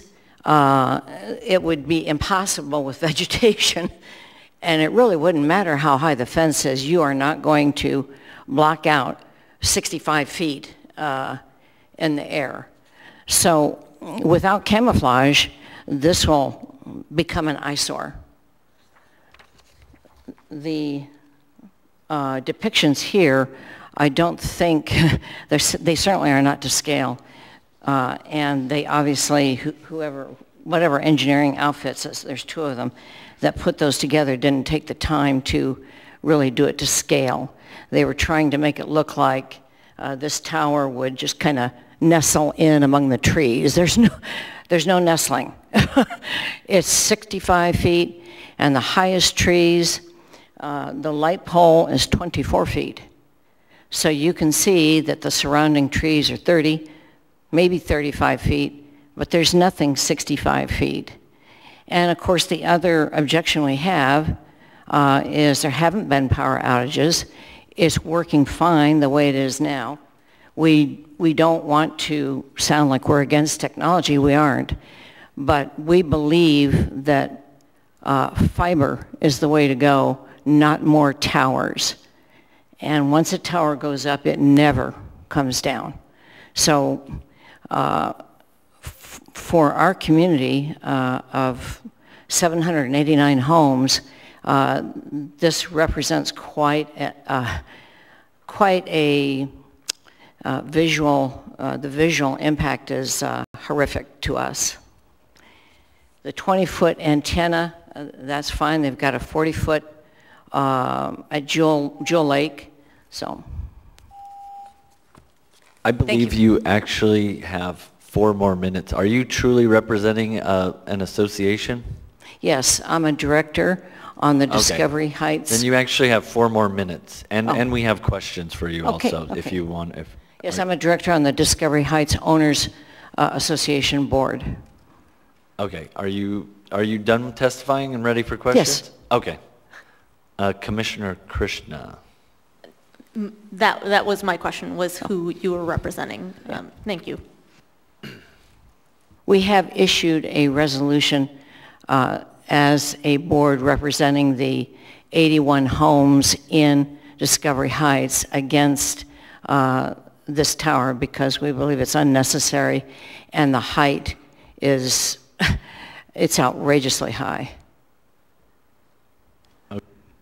Are there any more questions? Also, I think what disturbs us is that Chugach has not tried to work with us as a community uh, and tried to seek a balance between what they want and what we want. Okay, well, um, thank you for your time. There's no more questions. Okay, thank you.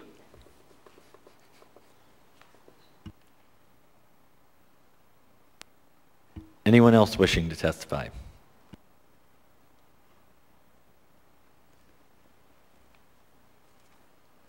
It's still on. Um, My name is Kate Petoskey. I'm an individual uh, living in Discovery Park. Can I- you, sorry, spell your last name, please? Sure. It's P as in Paul, E-T-O-S-K-E-Y.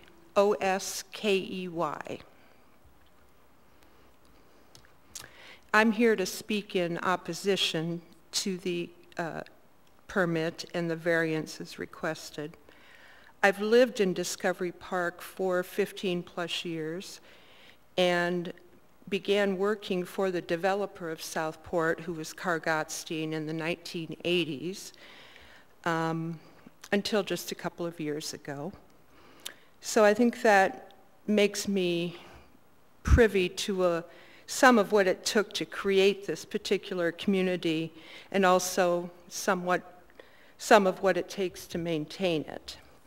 I know that in today's Anchorage, there are very few examples of projects that make our city more livable, but Southport is such a success story.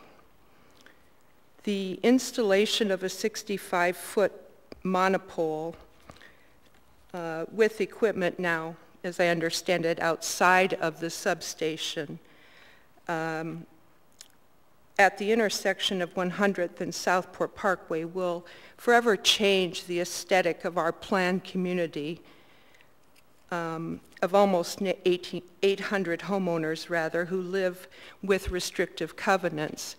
Um, As an example, each one of our HOAs, you know, has different restrictions. But me, for instance, I would not be allowed to plant a forget-me-not next to my unit uh, that alters my original landscaping package, but yet now to allow a 65-foot pole at the entrance slash exit of the neighborhood kind of demonstrates how we're not keeping with the design of a planned community. Um, I think to scar such a beautiful and heavily used by different users, uh, heavily used intersection for such little or no tangible benefit does not seem a good trade-off to me. Aesthetics are not the only concern. Safety is also a factor. Uh, th thousands of users pass through this intersection each year. Margaret recited some of the numbers, uh, which are per year, as I understand it, from MOA traffic. Our bike paths are used by many residents of Anchorage, not just Southport residents. Some pedestrians are children, as Margaret said, walking to and from Mears Junior High. Some are youth sports teams that use the trails for training. Um, so a fall down of such a pole would be catastrophic. Reliability of, of the electric service is not a problem. Despite our area being in high winds, I've rarely lost power in the last 15 years. Um, many of my neighbors um, testified to the uh, same at the community council meeting. My service is extremely reliable. Additional growth for uh, the load with, will not uh, happen in Southport um, because our community has been built out. There are only two lots that remain unsold in Discovery Heights, which are owned by the developer and have been available for some time. Um, the rebuild for the Campbell Lake substation is not for growth, as there is none to be expected in Southport. I'm told that uh, this particular substation is redundant, only used as a backup. The Jewel Lake Station, being the primary, is slated for underground improvements per the current Chugach five-year plan. So why would our substation serving nearly 800 homeowners in a planned community and near an intersection uh, used by thousands for work and pleasure not qualify for the same? Is the rebuild a want or a need? And uh, after listening to Peyton, um, it occurred to me that the improvements proposed offer no benefit to Chugach consumers, although perhaps to Chugach itself. And I kind of think of it as the working remotely concept. You know, while advantageous to workers, it maybe offers nothing to the end user or consumer. So um, our, C, our community council, which is Bayshore Klatt, submitted a resolution um, in opposition uh, back in May, actually, of this year. Many of the questions asked at the meetings which I attended and since have not been answered. Um, the renderings, as was mentioned, don't really accurately reflect the height of the monopole or the landscaping around it. The variance for landscaping appears to be a downgrade with trees removed in favor of shrubbery. The masonry fence would be an eyesore and camouflage for the gigantic pole isn't discussed adequately. I would just implore you to consider these quality of life issues in depth as you try to balance our residents' safety concerns, etc. Thank you. Thank Time- you. Time is up. Are there any questions? I see no questions. Hi, please state and spell your name for the record. Mike? Okay. Um, uh, Good evening, members of the commission. My name is Janice Zilko. I uh, spelled Z as in zebra, I-L-K-O. And I am a resident of the master plan community known as Southport. And I am also an elected board member on the Southport Master Association, as well as a volunteer member of the Southport Master Association Landscape Committee. Um, I am here to oppose the permit for the tower. Um, and I would like to give a few reasons. Um, the Southport Master Association maintains landscaping and aesthetic features along Southport Drive, as well as we own the adjacent tract um, called the Bayshore West Sign Reserve that is immediately adjacent to the substation along uh, West 100th Avenue. Uh, the sole purpose for the existence of this parcel is to create an attractive entrance for the Southport community with a landscape monument sign and a 50 by 100 foot strip buffer uh, vegetation to screen the substation along 100th Avenue. Um, I am opposed to the construction of a 65 foot microwave tower at this site. I have not been convinced of the need for this permanent tower that will still remain an eyesore in our community long after its functions have been replaced by the undergrounding of electrical facilities and the newer fiber optic technology that is coming. Our neighborhood, which is served by this electrical substation, is built out. There will not be a future demand. Homeowners in my neighborhood are already installing solar panels on their homes, which will become more common as solar technology improves and becomes more affordable. The rebuild of the station will in itself improve the safety and security of our electrical grid with all new transformers and associated components. I have not seen a discussion of alternatives to this tower, um, the main purpose of which seems to be the wireless accumulation of residential metered usage data. I have not seen any mitigating design measures to camouflage the tower. CEA's renderings show a smaller tower nestled among mature trees but their plans show the mature trees are to be removed with the rebuild. The tower will stick out like a sore thumb. It was only located 30 feet from the property line at the Southport Drive 100th Avenue intersection. I have submitted a photo online um, to the Muni of the evergreen camouflage used on a monopole at Kincaid Park. I would suggest something like this would mitigate the visual impacts of the tower in our neighborhood.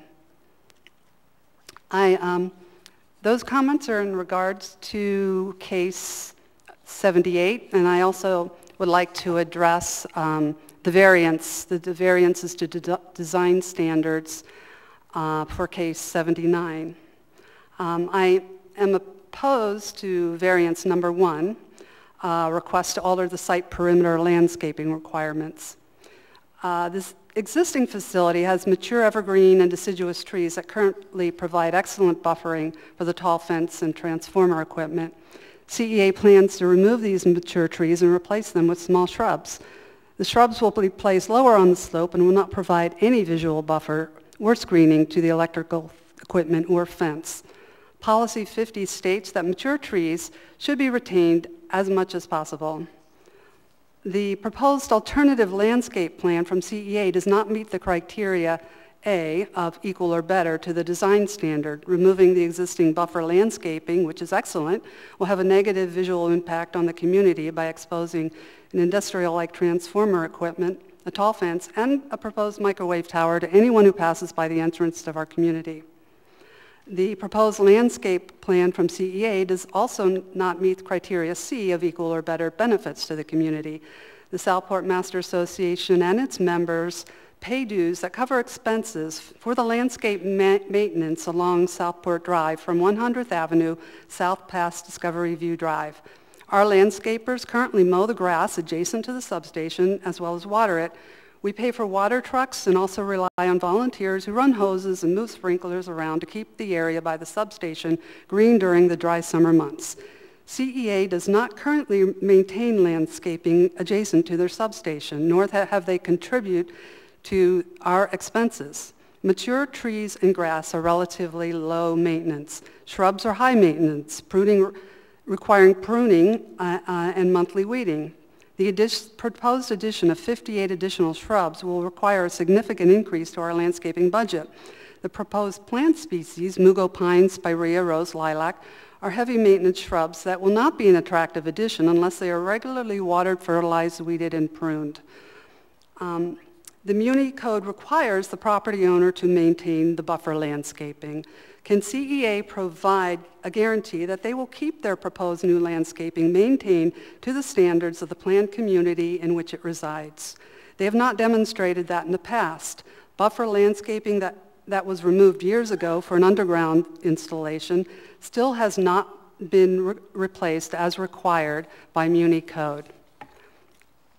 I do believe this very visible new rebuild will adversely change the character of the planned community zoning district criteria as criteria E. This PCZ zoning district has standards that all 15 individual, HOAs are required to adhere to. These two variance requests do not comply with Southport's design standards. I am also opposed to, oh, is that it? Yep, that's it. Are, are there any questions? We have questions. Commissioner Pullis. Did you say you submitted comments on this case to the planning department? Yeah, but I just did so today, so they Okay. probably didn't make it into your packet. All right, that was my question. Thank you. Okay. Uh, Commissioner Krishna.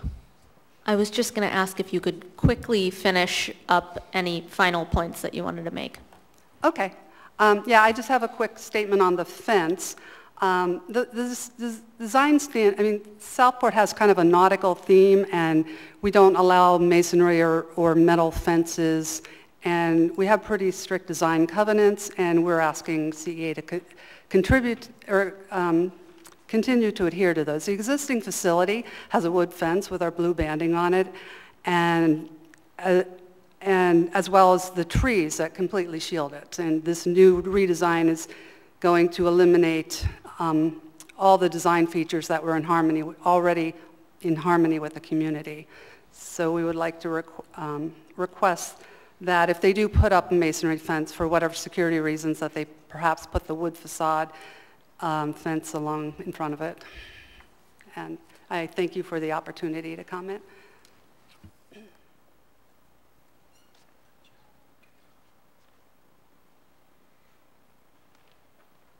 Come on up. Good evening. My name is Bruce Schulte. That's S-C-H-U-L-T-E. I'm president of the Bayshore Klatt Community Council. Um, others before me have already covered a lot of my points, so I'll try and condense this a little bit. I did want to just expand a little bit on what's been said. Um, Southport is a community of 750 houses roughly, but uh, Southport Drive is the uh, spine for many other houses in that. There's Concord Hills, there's Bayshore, there's uh, Hidden Cove 1.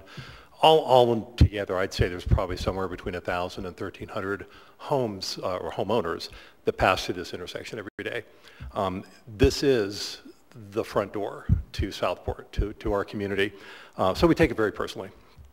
Um, the member communities of Southport, 750 rough, uh, roughly homes, spend about $100,000 every summer to maintain the landscaping along that road.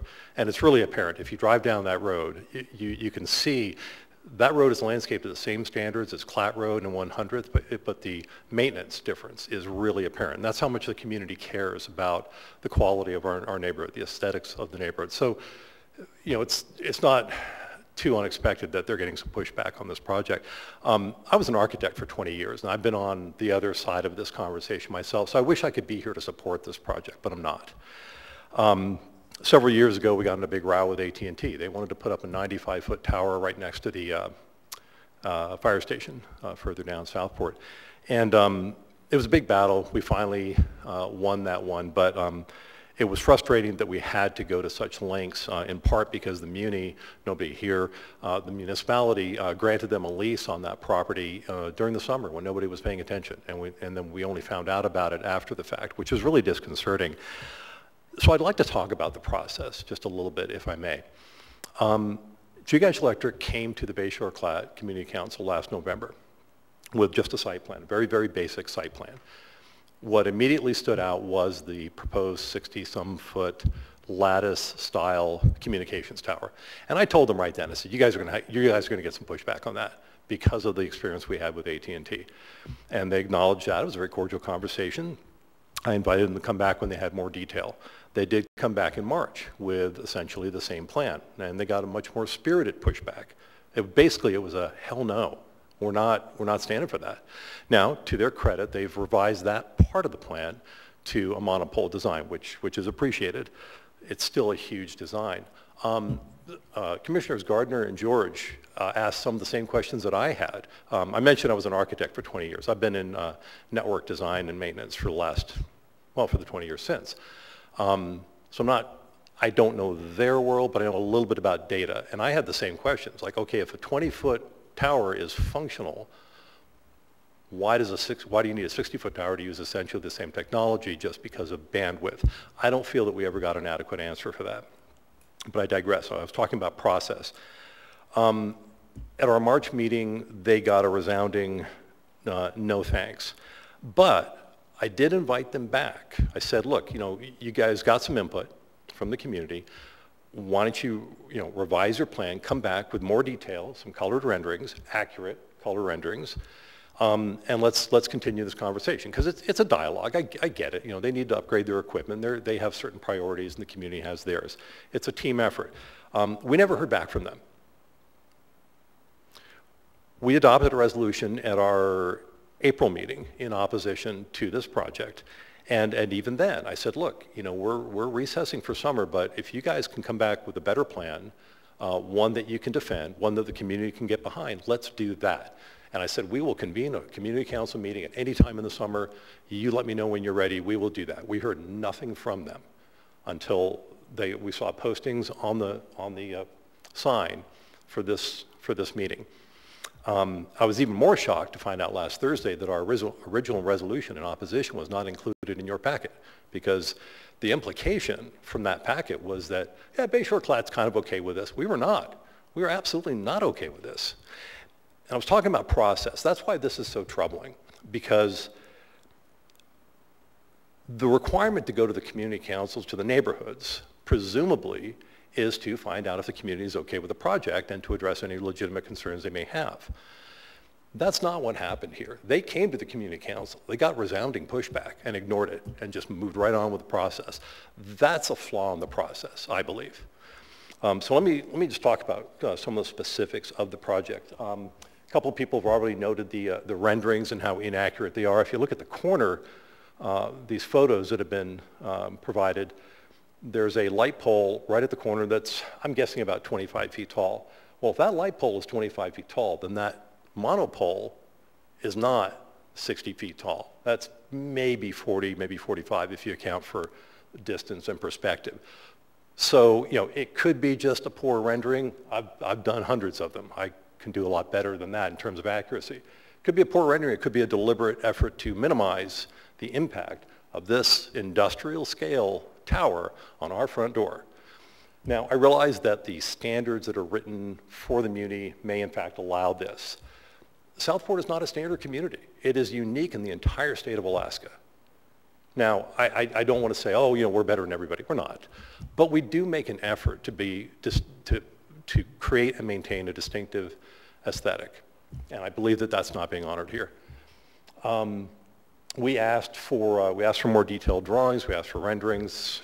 What you see here is the first I've seen of most of this. Um, as was pointed out earlier, the uh, trees, it doesn't really show in the renderings here, but there was a screen of uh, evergreen trees in front of the existing uh, substation until, um, I don't know, I think about four or five years ago. And uh, about a third of those were taken down. They were just cut out, 30-year-old trees, cut out so that they could put a buried vault in front of the screening wall. Now they're proposing to cut out the rest of the trees and put more equipment right out in front of the wall. That's a problem because uh, the screening wall behind it isn't going to do any good to obscure that equipment. And the mugo pines, the ground cover they're going to put in front of it, uh, not anything more, really.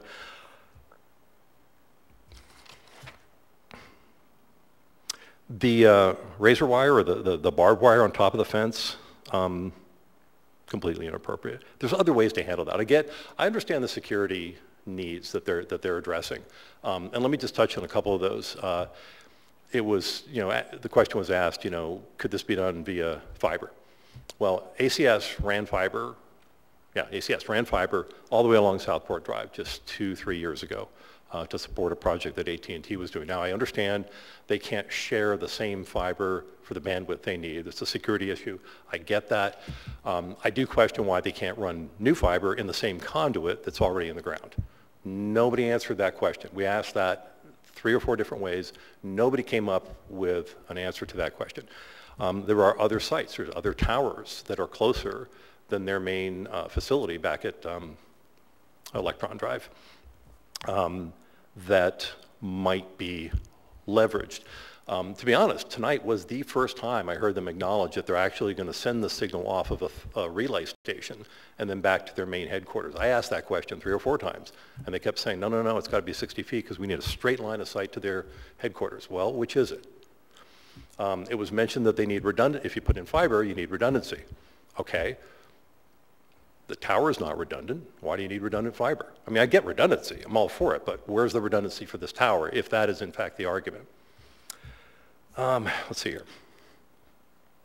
Okay, I think I've hit all the salient points. Now, I've actually been on the other side of discussions like this. I've served on, on various you know, boards and commissions before, and uh, it's, it's awkward when somebody just comes and pounds the table and says no, no, no without any suggestions. I actually have a couple of suggestions, or requests, if I may. Um, the first one would be that the commission consider just tabling both of these proposals for now and invite Chugach Electric to go back to the community and make a serious effort to address their legitimate concerns. It's going to cost them time, no doubt, and they might miss their 2024 construction schedule. That is entirely on them. They had the opportunity last November to recalibrate, and they chose not to. They chose to try and do an end run around us, and we're not having it. Um, I think uh, Margaret and Janice have already addressed some of the specifics um, I do agree that moving the electrical gear entirely inside the screening fence would be appropriate. Why would you not do that? Um, that's the whole point of a screening fence. I think that's it. Any questions? I see, oh, I have questions. Commissioner Strike.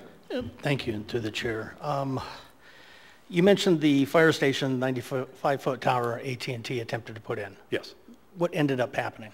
We were able to defeat that because, um, as it turns out, when that property was deeded to the municipality, there was a little footnote, and I, I credit Janice yep. with this because she's this is her profession. There's a little footnote on there that said the Southport Master Association had final say-so on any work that was done there. So, is there no cell towers at all in your community? That uh, there there are. So so the the follow-on to that, and I think you sort of alluded to this. Um, they, they abandoned that tower, and just a few years later, they went to those micro towers that are mm-hmm. co-located with street lights. Um, that got a little pushback here and there from some of my neighbors, but I, personally, I viewed that as a suitable compromise. So they, they did incorporate them within the street lights? Yes. So this goes to the heart of your own community. It is different than the rest of the subdivisions and the planned um, divisions within Anchorage. I believe so. Um, there's no overhead lines, no overhead towers, no line of sight is, is, is done that way. You incorporated the cell phone towers into the streetlight aspect. Um, that was something that, you know, even as much as five, six years ago, they told us couldn't be done. Mm-hmm. It can be. Um, I like what you said regarding the process. And I'm, I guess I'm, where I'm coming about this, the last time a utility company came to this commission looking for acquiesce and so forth, they too had not followed the process, and that was the um, MEA. And so we did as you suggested, actually, to go back and work with the community on that. Because we do hold the process very important, and being disingenuous can go against you in that regard. But we also know the need for the need for the community and need for the utilities to get their infrastructure and their communications and security and so forth in place. Mm-hmm. So we have we have to find that balance. Absolutely. And and nowhere have I heard is, you know, the NIMBY, not in my backyard approach. Um, love it when you come together with solutions. You know, let's let's put more trees in? Let's, you know, does it need to be 65 feet? Can it be 45 feet? Um, and you're, you're asking the right questions and you're bringing the right ideas to the table. It's just that they need to be collectively heard. And my concern right now, based on what I've seen and read here, is that it's not being collectively heard. That's, that's our take on it too. Okay, thank you. Thank you. Commissioner Ron. Uh, Thank you, Mr. Chair. Um, Mr. Schulte, thanks for your testimony tonight. I, I do appreciate uh, the points that you walked, walked us through as the commission.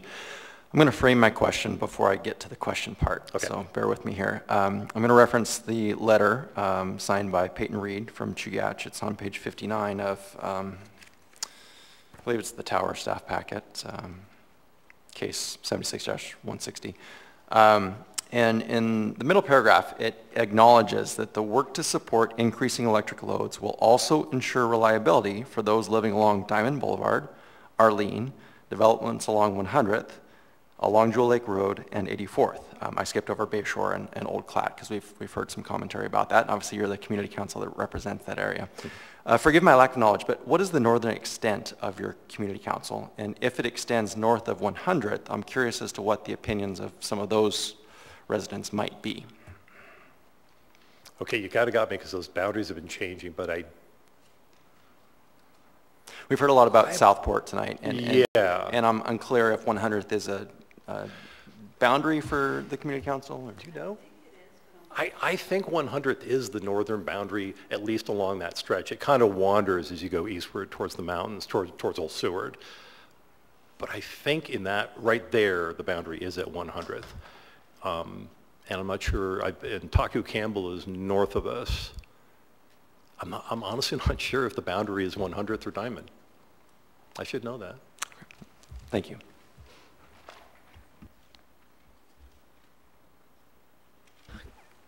Question from Commissioner George. Uh, Thank you through the chair. Uh, Mr. Schulte, it's uh, good to have you here this evening on behalf of the community council. I appreciate you taking the time um, and also uh, giving us a little bit of the back history of, of how we got here. Um, As my colleagues know, I give great weight to community councils. Um, So I- I just have to kind of preface my comment or my questions a little bit uh, as well as my fellow commissioner. You know, while I'm- I might not be 100% convinced of the need uh, for this particular project as proposed at this location, uh, ultimately I have to take uh, the utility, uh, the petitioner in this case, at their word that this is critical infrastructure and um, that it's also permissible under the code at this location.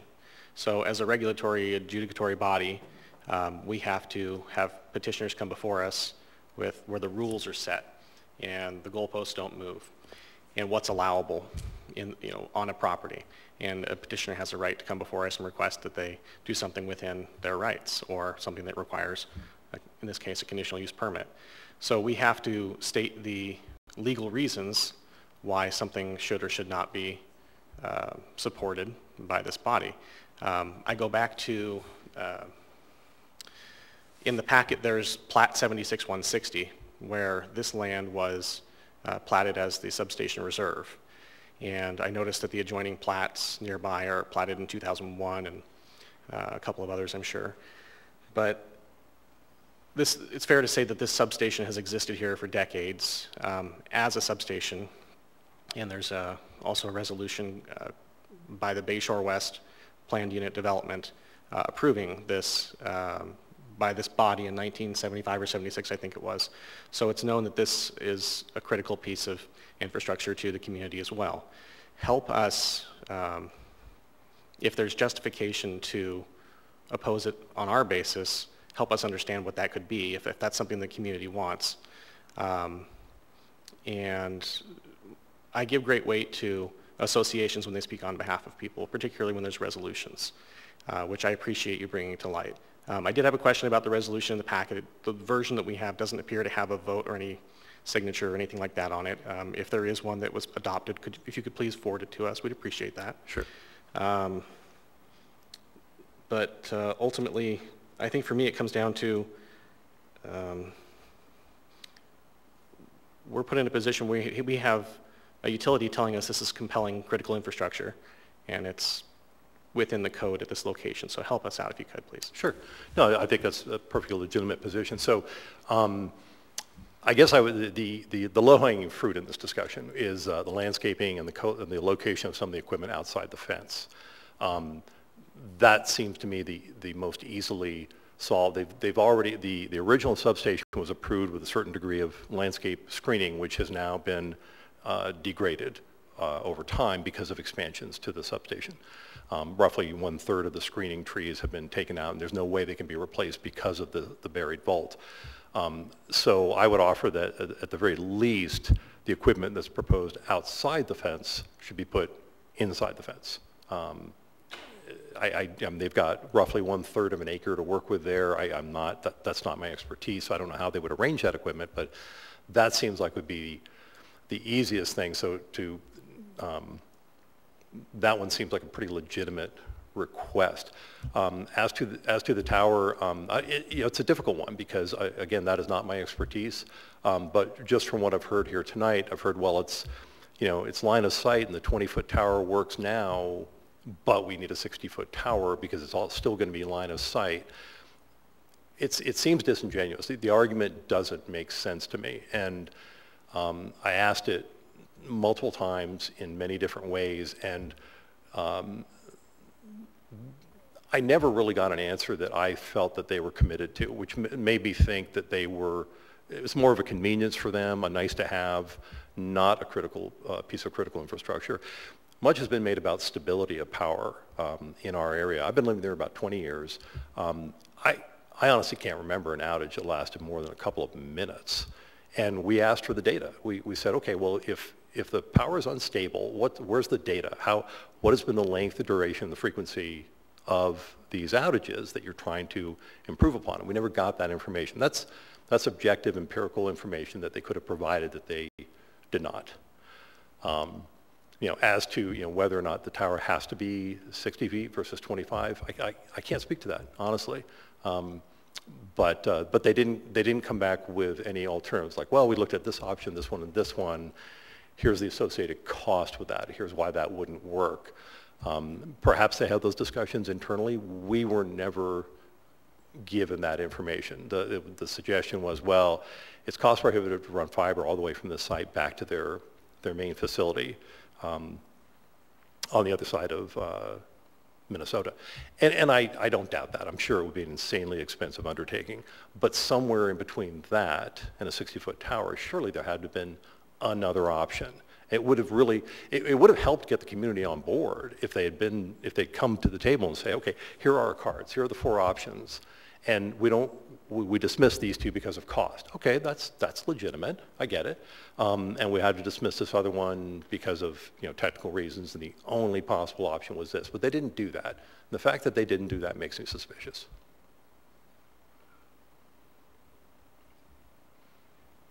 I see no more questions. All right. Thank you Is there anyone else wishing, wishing to testify?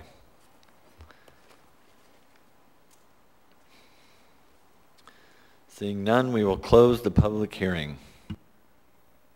Oh, yeah, and the petitioner will have time, 12 minutes and 36 seconds for rebuttal.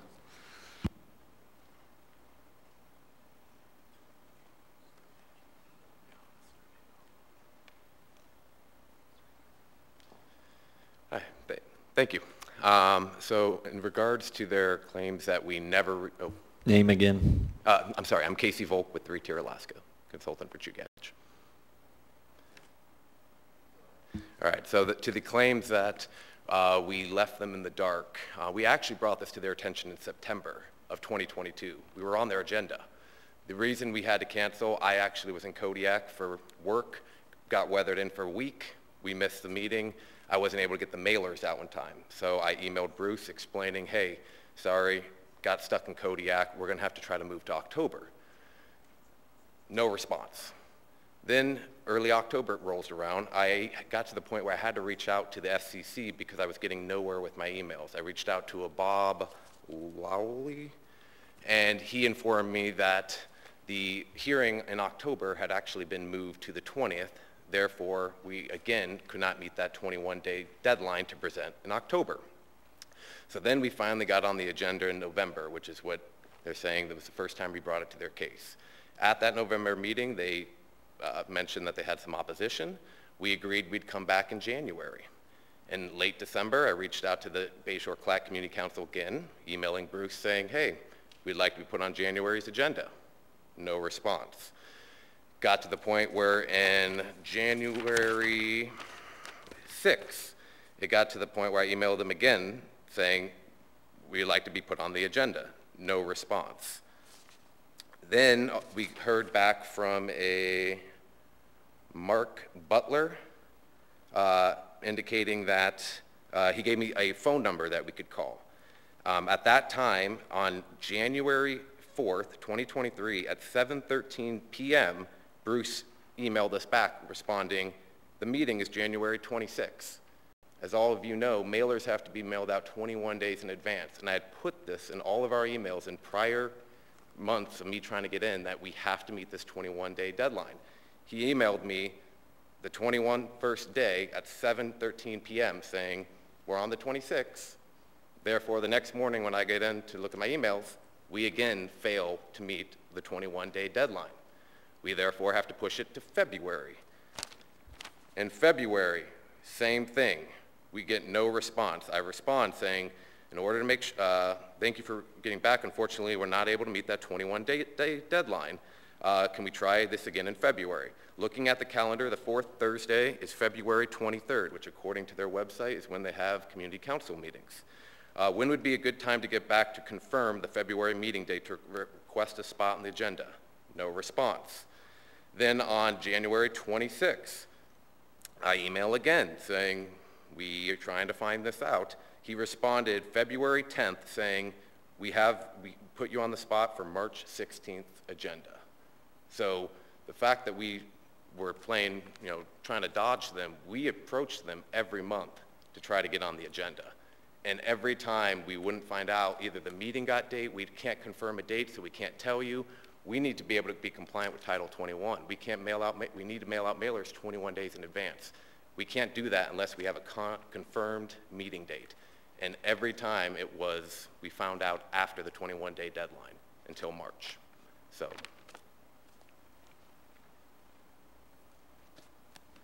And I'm Peyton Reed from Chugach. Um, so at our March meeting, uh, we showed them our proposal, our proposed site plan, and we talked about our rebuild, and they objected to the tower and said not only did they not want the lattice tower, they didn't want any tower there.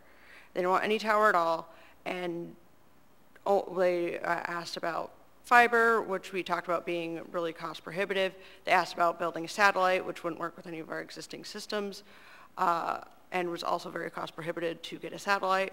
Uh, and so we, we went over the options with them, and we talked about even a monopole, and they didn't want that.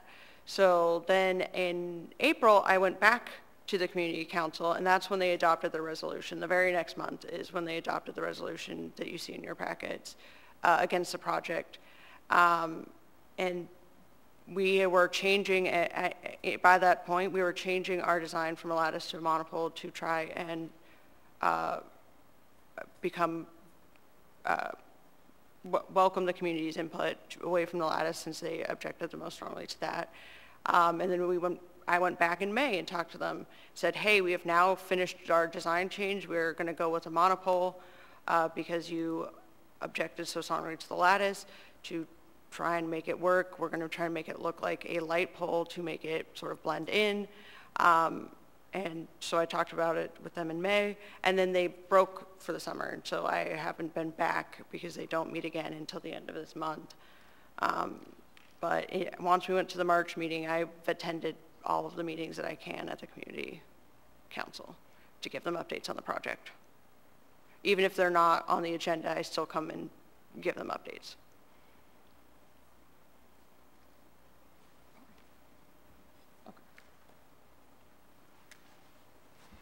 You have seven minutes and 15 seconds remaining. Thank you. Um, again, I'm Sierra Larson with Sierra Larson with New Horizons Telecom. I just wanted to speak to a couple of the points that I um, heard brought up, and I just wanted to say thank you for your comments and concerns. Um, by no means want to feel like any of them were discounted, um, but we did a lot of internal discussions between us, and as Peyton mentioned, a lot of the alternate options were reviewed, and um, for other some reasons or others were um, denied. But specifically, I wanted to talk about what I heard about um, some safety concerns. and um, concerns about wind speeds in the area. And I just wanted to speak to the design requirements of a cell tower are very stringent. Um, I think I heard reference to a 60 mile an hour wind in, you know, in some cases, we're required to design up to, sorry, communications tower. Um, we're desi have to design up to 136 mile an hour winds. So I, the safety concerns I do not feel are um, relevant to this discussion as the design, you know, will clearly, um, you know, be above and beyond those requirements. Um, I also um, wanted to point out that there were two different types of renderings that were provided, and if you compare them, the height is very similar in what's shown on this particular rendering. Um, and it's just a matter of perspective. You know, there's no Sorry, go ahead. Um, this is this is Paul Johnson again. Just one quick item to address the um, um, the comment about um, how you achieve uh, network redundancy with a single tower. And just to point out, there's so there's two antenna systems on there, each terminating on its own radio. Every radio has redundant um, electronic cards, power supplies, fans, and all that. So with with a single site, going out to two diverse sites, that's how you achieve um, communication redundancy with a single tower. Thank you.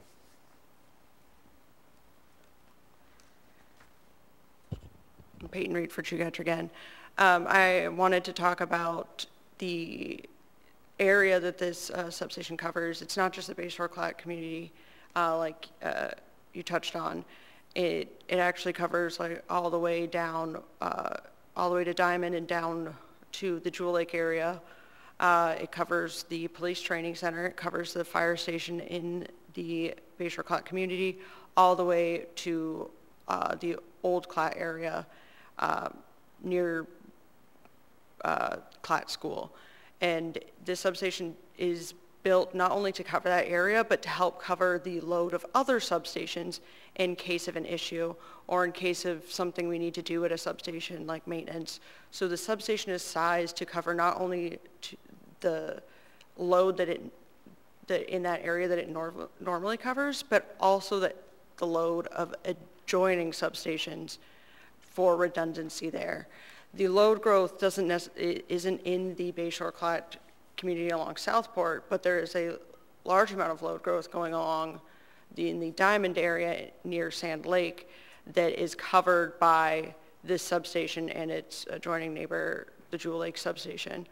Um, and so this, this substation does not just cover this one neighborhood, it covers a large community outside of that, including the commercial building, or the commercial customers along Diamond, like Fred Meyers and Skinny Raven. Uh, this uh, substation would also back up the Jewel Lake substation and Klatt substations as necessary. Um, the anything else? That you want to discuss? Okay. Okay. One other item I just wanted to speak to was the alternatives. There's been a lot of um, concern about the visual impact of the tower, and um, someone asked about a tree type tower, and we did evaluate that option, and it's not conducive to the type of communications that uh, CEA is providing. Those are more geared toward cellular antennas, which are much more narrow, um, smaller, with the dishes that they need for their point-to-point communication system, um, it's not a good option. So we did take into the community's um, feedback and adjusted the tower type so it's not going to be a big lattice tower, which was the preference. It's much easier to climb, it's much easier to maintain, it's much easier for their installation. Um, but we did elect to go with a monopole to try to reduce that visual impact as much as possible that I know the community is concerned about. Um, so we feel that this is the best option.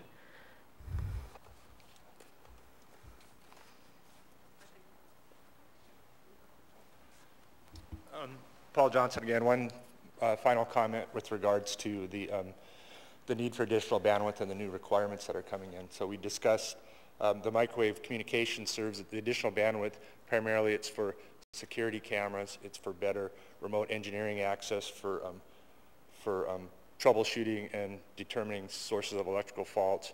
It's the advanced metering infrastructure serving the entire community um, that's currently not served out of there, providing additional redundancy and robustness. And it's not just for reading meters, it's also for detecting power outages, and also um, dispatch uses it to um, verify restoration of power. So the overall resiliency of power, um, outage detection, response, and, and uh, restoration, that's a big part of what that infrastructure supports. Um, And I'll just wrap it up. This substation is, you know, close to, built and operating since 1976. Uh, Our infrastructure is reaching the end of its life and needs to be replaced to be able to maintain the reliability that the community spoke of uh, with the few power outages. The older the equipment gets, the more outages there are going to be until equipment fails um, entirely. And that is not a situation we want to be in. So we want to replace that equipment before it fails so we can maintain that reliability that, and lack of power outages that the community has come to rely upon. Uh, Thank you.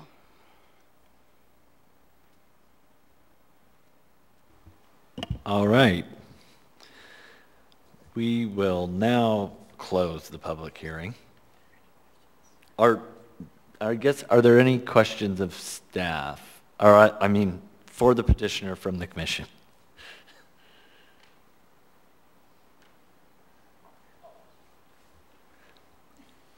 Commissioner Polis. You guys just told us you looked at a ton of alternatives, but I'm going to just kind of wing one out there. Um, is there no combination of, you know, we got to save trees obviously, but can we chop some trees down and reduce heights? Any, I'm sure you guys looked at a ton of stuff, but just to cover our bases here, there's no way to lower the height of that tower? Uh, If the community would allow us to chop down the heights of the trees, like top the trees, then we might be able to get a shorter tower, but I don't think they would prefer that either. So landscaping code requires you to have landscaping. So if you remove a tree, you can put back a smaller one and let them grow back until the point they have to be removed again. Um, But, you know, just, just trying to brainstorm here a little in case it hadn't been considered. Uh, So, uh, I, I think that we chose keeping the trees to along like 100th and stuff. Uh, We weren't, we weren't touching any of those to be a lesser impact to the community versus chopping them all down or replacing them with shorter trees. Uh, We, we, we felt that that would be a larger impact. Thank you.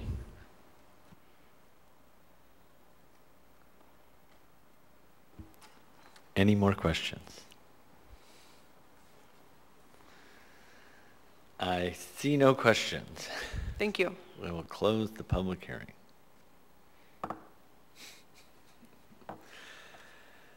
Okay, what is the will of the body?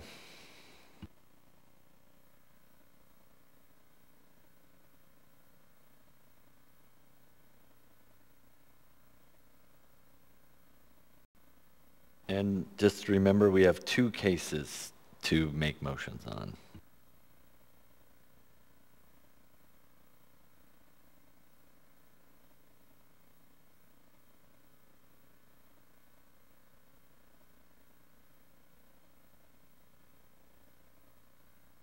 We have a motion and a second. Mo- Moved by Commissioner Ron and seconded by Commissioner Gardner. Would you like to state your motion?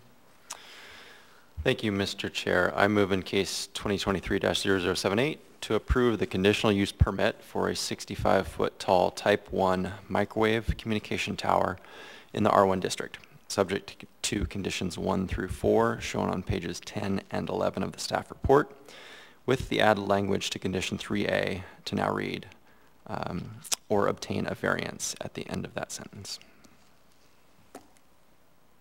Thank you. And would you like to speak to your motion?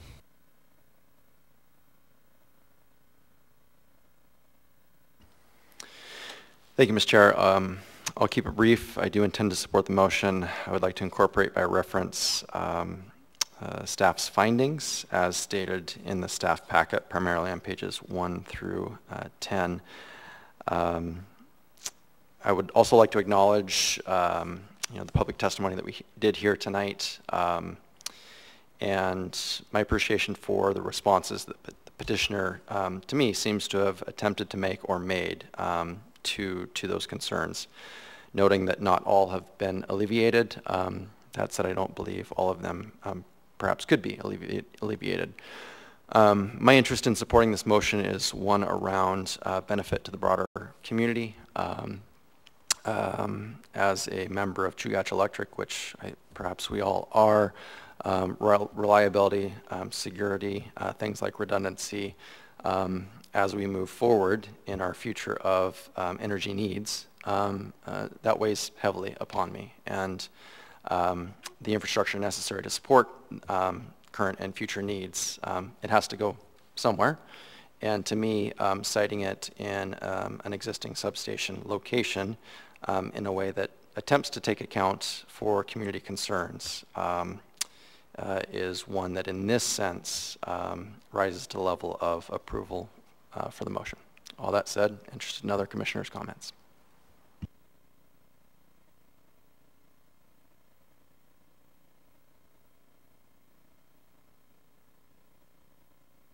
Commissioner Gardner. Thank you. Um, I intend to support the motion as well. I think um, just looking at the criteria that we need to evaluate, I think they're all, for the most part, pretty clearly satisfied. This is a use that is allowed um, in this particular area, and it meets the um, the various various use specific standards, including with respect to height and um, locations. And I think, to my mind, really the one area that I've flipped back and forth on a little bit um, throughout the course of this hearing is with respect to um, compatibility with adjacent properties and I think more significantly just the extent to which um, adverse impacts from the use will be mitigated or offset. Um, and there have been a lot of concerns. I understand in, entirely the concern about having a, a 65-foot tower in a, in a residential area. Um, that that height, though, as I mentioned, is, is permissible within the area, and there's been some maybe miscommunications, it sounded like, between the design teams and the community, um, or at least some inconsistencies with, with, respect to what communications took place. But I think what has come through clearly is that there have been changes that have been made. I don't think you're getting away from the need for um, the improved communication and some height that will be required for that. Um, we heard testimony about a change from um, to the monopole design, which will reduce the impacts from the site. And um, I think for that reasons, those reasons, I will end up supporting the motion.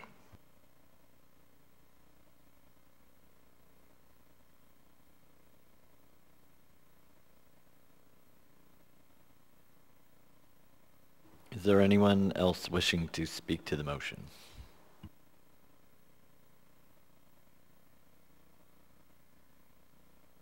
Seeing none, we'll call for the vote.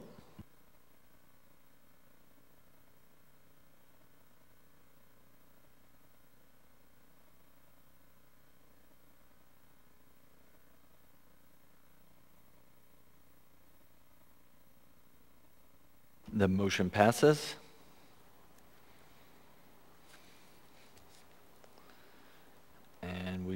be for a motion in case number 2023-0079.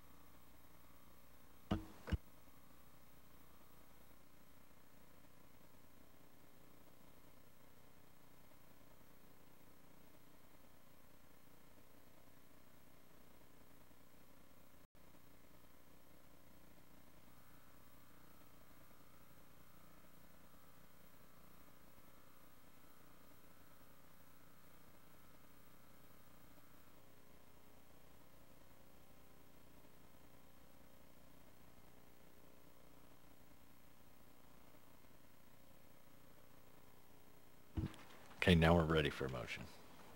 What's the will?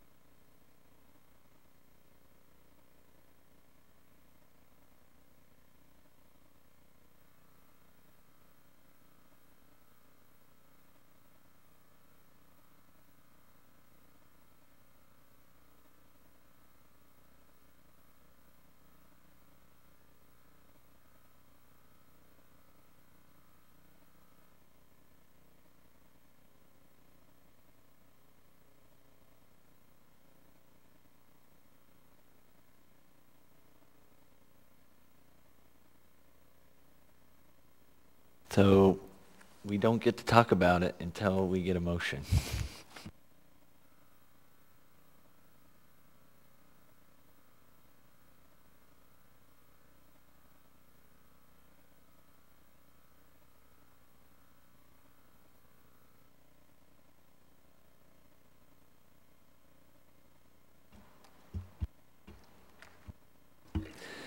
Um, We have a motion by Commissioner Gardner and seconded by Commissioner Krishna. Um, Would you like to state your motion? Yes, yes, thanks. Um, I move in case 2023-0079 to approve the variance from AMC 21.07.080E E to not provide L2 buffer landscaping on the east property boundary adjacent to Southport Drive, subject to approval of the conditional use and any approved time extensions. Would you like to speak to this motion? Um, yes, I, I, I, I will. This one is actually, for me, I think a, a little harder, and frankly, I kicked this off to start some discussion because I'm still a little on the fence myself for this one because I didn't, um, I didn't fully capture, I think, the the full need for this and the extent to which um, the, the, the proposed alternative would meet, you know, sufficiently meet the intent of the subject design standard to the same or, or better degree given, given the requirements here. We did hear um, some proposals from the community for other ways to kind of maybe try to address this. And, um, and this is one where I'm just, I'm just not sure that, that we haven't fully kind of fleshed out other, other potential alternatives.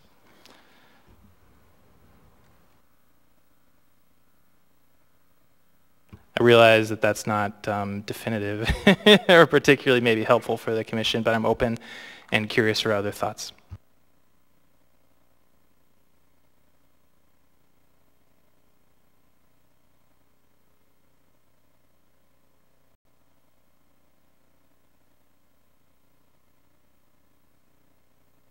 Commissioner Strike. Thank you. And in speaking to the motion, um, I note that it refers only to the L2 buffer landscaping and not a reference to the fencing. Was that a omission or am I misinterpreting? The fencing will be a separate motion. It- uh, uh, uh, It's a separate motion after this one. To G2, okay, thank you.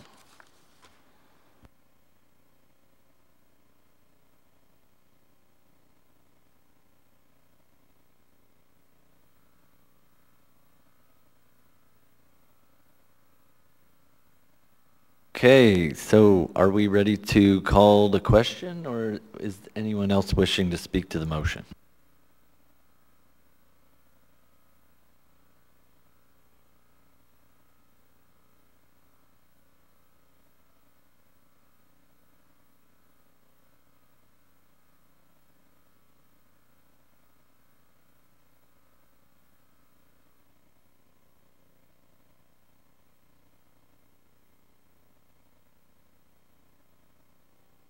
Okay, we'll call the, oh, we have staff in the queue. Uh, Through the chair, for the benefit of the commission, the landscape plan for uh, the substation is on page seven of your packets. Um, Just because it's a thick packet. Page 77 contains the landscape plan, and what's at issue is the line of landscaping um, along uh, Southport Drive on the east property boundary. Thank you.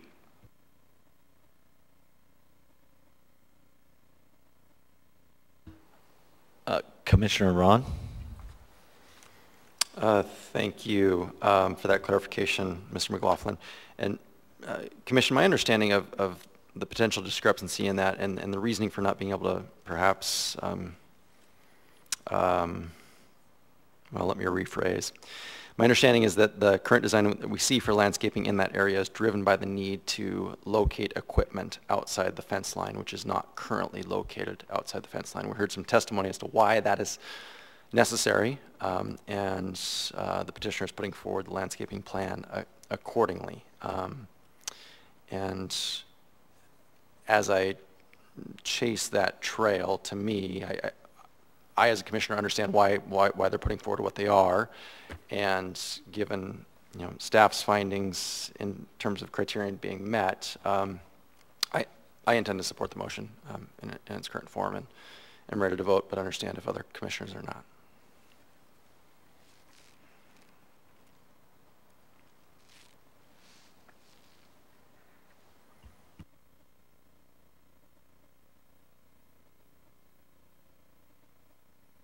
Anybody else wishing to speak to the motion? We'll call the vote.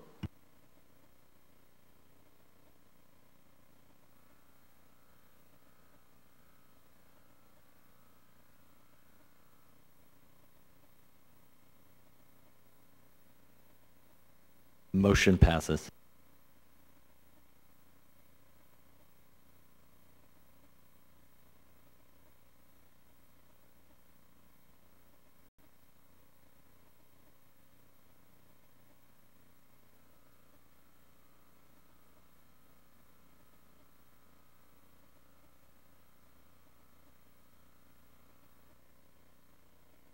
Now we have the motion before us regarding the fence.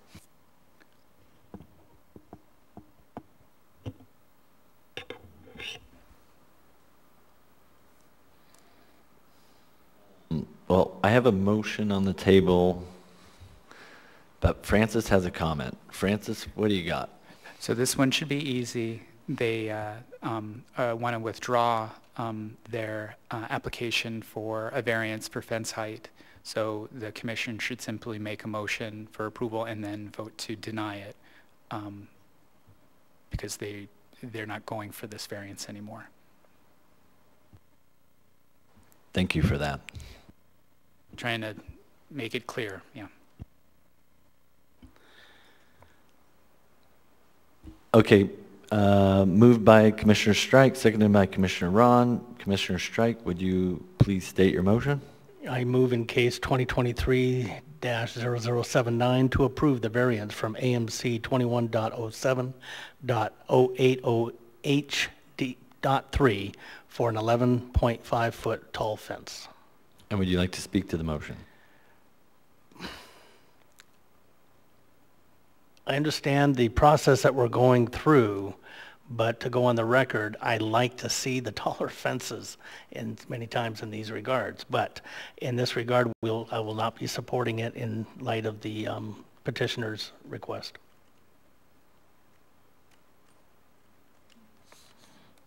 Anybody else? Uh, Seeing none, we'll call the vote.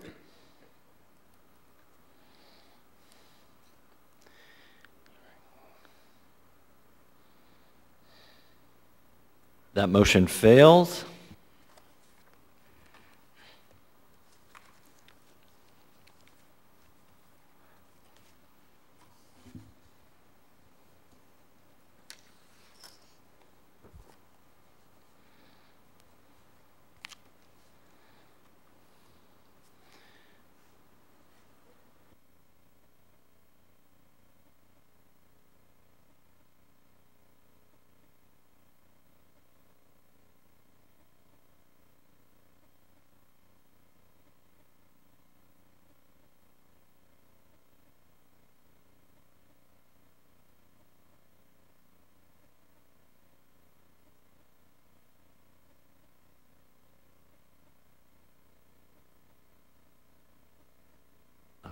Okay, we have a motion before us by Commissioner Krishna. Would you like to state your motion? Yes, I move in case 2023-0079 to approve the conditional use for a utility substation, subject to conditions 1 through 3, shown on page 12 of the staff report. And it's seconded by Commissioner Gardner. Commissioner Krishna, would you like to speak to your motion? Yes, I intend to support this motion. I believe um, that we've uh, spent a lot of time discussing the um, details of this case, and we've heard from both the petitioner and many members of the public Um, And I believe that my questions have been satisfied.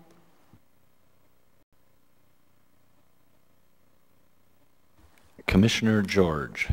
Uh, Thank you through the chair. I just maybe have a question staff might be able to assist with. I just am hoping for clarification on the record for why we're waiting one year for a notice of zoning action to be recorded. Um, My thinking for asking that question is uh, adjacent property owners who will be purchasing or selling homes that are going to be in the vicinity of this. um, That seems to be why you would record such an action, so that folks would know. So why are we waiting a year? Thank you. Uh, Through the chair, um, um, Commissioner George, um, it's a standard um, uh, condition of approval that um, the petitioner is given one year to satisfy the conditions of approval um, and uh, turn in um, the final plans sheets um, to be stamped approved. Um, That comes directly from uh, code. Um, So it's, it's written into our code and we just repeat it here uh, because we don't want the petitioner to not know that they're time limited uh, to one year and think that uh, they can uh, come back in two years because they would have to um, reapply uh, for this because their approval would have expired. Um, To shorten the amount of time, um, the commission does have the ability to um, determine um, the length of time that they have to, um, that this approval would, would last, um, because the code says that, or as the commission determines, but uh, that's just the standard. And uh, um, if they couldn't turn in final plans in time to meet that, then we, they'd have to go through, put the community through, it'd be all over again, and it would just, everyone would feel pretty bad about that.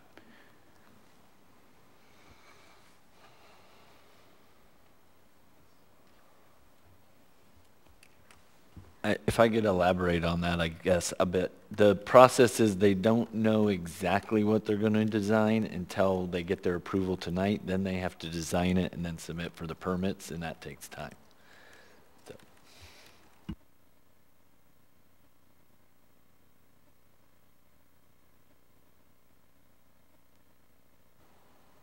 Any further discussion? Seeing none, we'll call for the vote.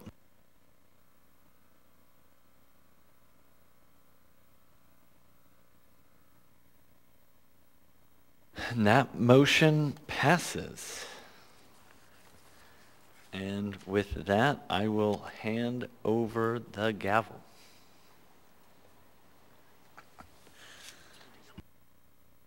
Thank you, and we will take a uh, five-minute, five-minute break um, and then come back for our next case.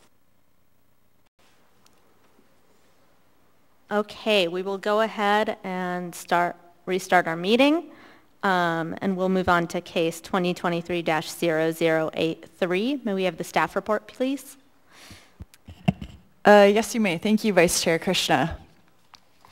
Uh, The property owner and his representatives request a rezoning of one parcel from the R3 Mixed Residential District to the B3 General Business District. The property has the business of Harold's Rent-A-Truck on site, and the property owner would like to place a new mixed-use redevelopment on the property in the future. There were no objections from reviewing agencies to the rezoning. Uh, No comments were received by the planning department from members of the public or a community council. The department finds all nine review criteria are met for the Planning and Zoning Commission to recommend approval of the rezoning to the Assembly, which I will briefly summarize uh, from the staff report. Criterion one is met. The rezoning is in the best interest of the citizens of Anchorage and promotes public health, safety, and welfare. Criterion two is met. The rezoning complies with and conforms to the comprehensive plan. The Anchorage 2040 plan has a land use designation of commercial corridor for the subject parcel. The B3 district is an implementing zoning district of this land use designation.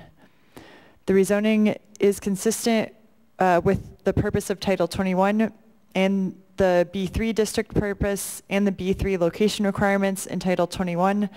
Thus, criterion three is met with an effective clause of the rezoning uh, B, that the storage, storage yard use cease on the property since it is not an allowed use within the B3 district. Criterion four is met. The rezoning is compatible with surrounding zoning and development.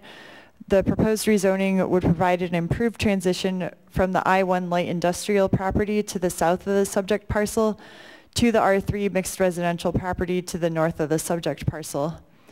Criterion five is met. Facilities and services are capable of supporting the uses allowed by the zone or will be capable by the time development is complete. A future development would need to address water and sewer connections to the site. Criterion six is met. The rezoning is not likely to result in significant adverse impacts upon the natural environment. Uh, note that uh, in the staff report, this is shown as a second number five in the packet. Uh, that should be a number six. Criterion seven is met. The proposed rezoning is not likely to result in significant adverse impacts to adjacent uses. Uh, note also in the packet that this is shown as number six, but that should be number seven.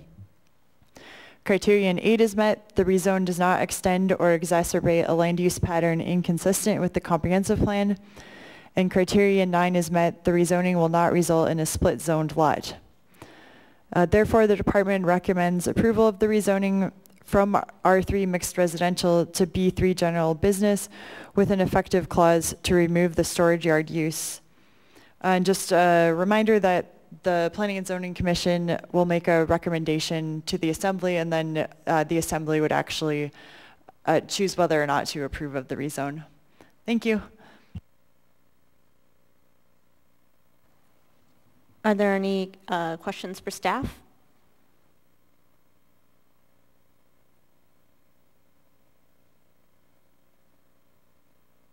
Seeing none, may we hear from the petitioner?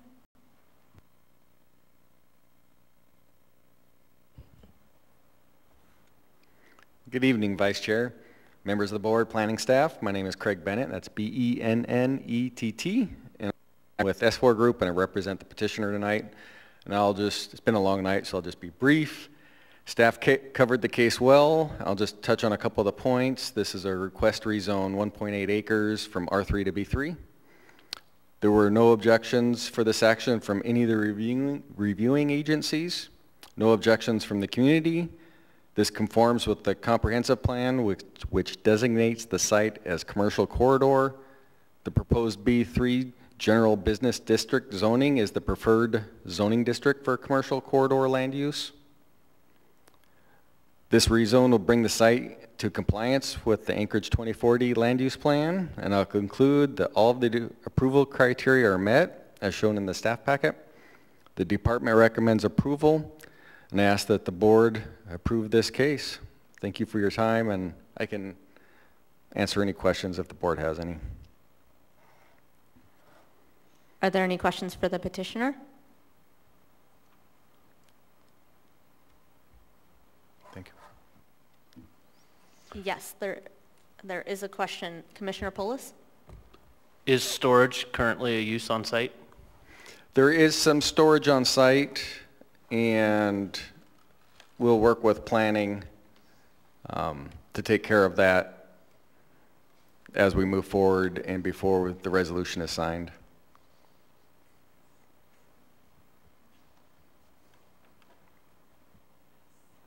Are there any further questions? Then we will open the public hearing. Are there any members of the public wishing to speak to the commission?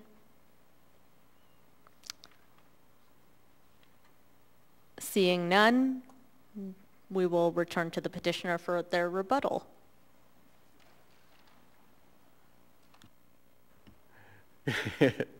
Thank you. Um, I don't have anything else. I do see another question, Commissioner okay. Ron.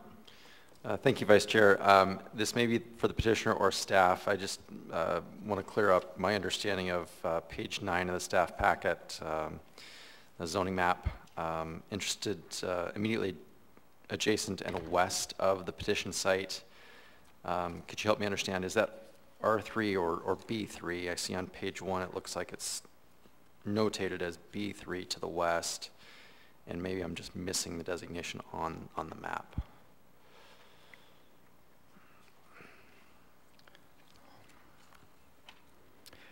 It's B3, I believe. If you look at page 21,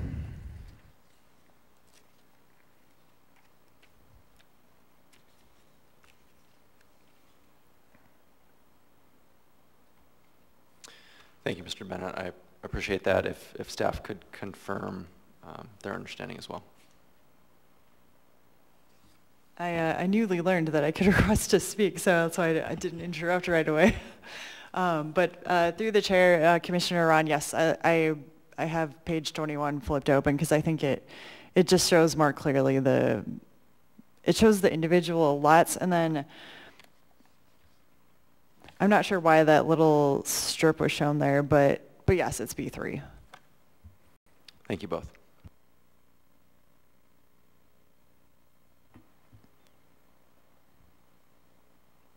Any further questions? Um, I actually, I, I do have one other clarification I could maybe offer. Maybe this is overkill, but uh, that strip may be showing, because the zoning districts, they do extend the streets, so that it could be that the exact border of the zoning district is a street, and so that's why that little sliver is shown. Thank you. Seeing no further questions, we will go ahead and close the public hearing. What is the will of the body?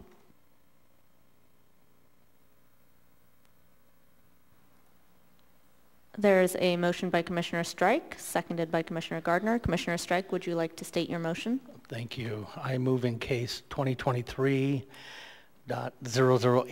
to recommend to the Anchorage Assembly approval of the rezone from R3 Mixed Residential District to B3 General Business District, subject to the effective clause of the rezoning to remove the storage yard use.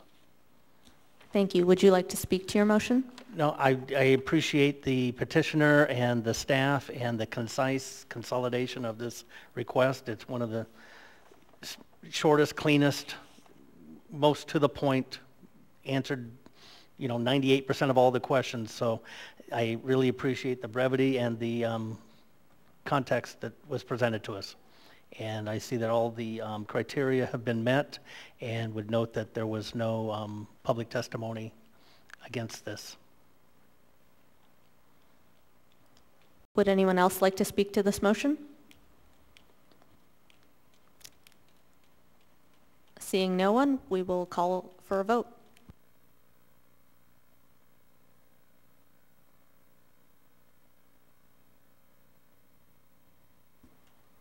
That vote passes.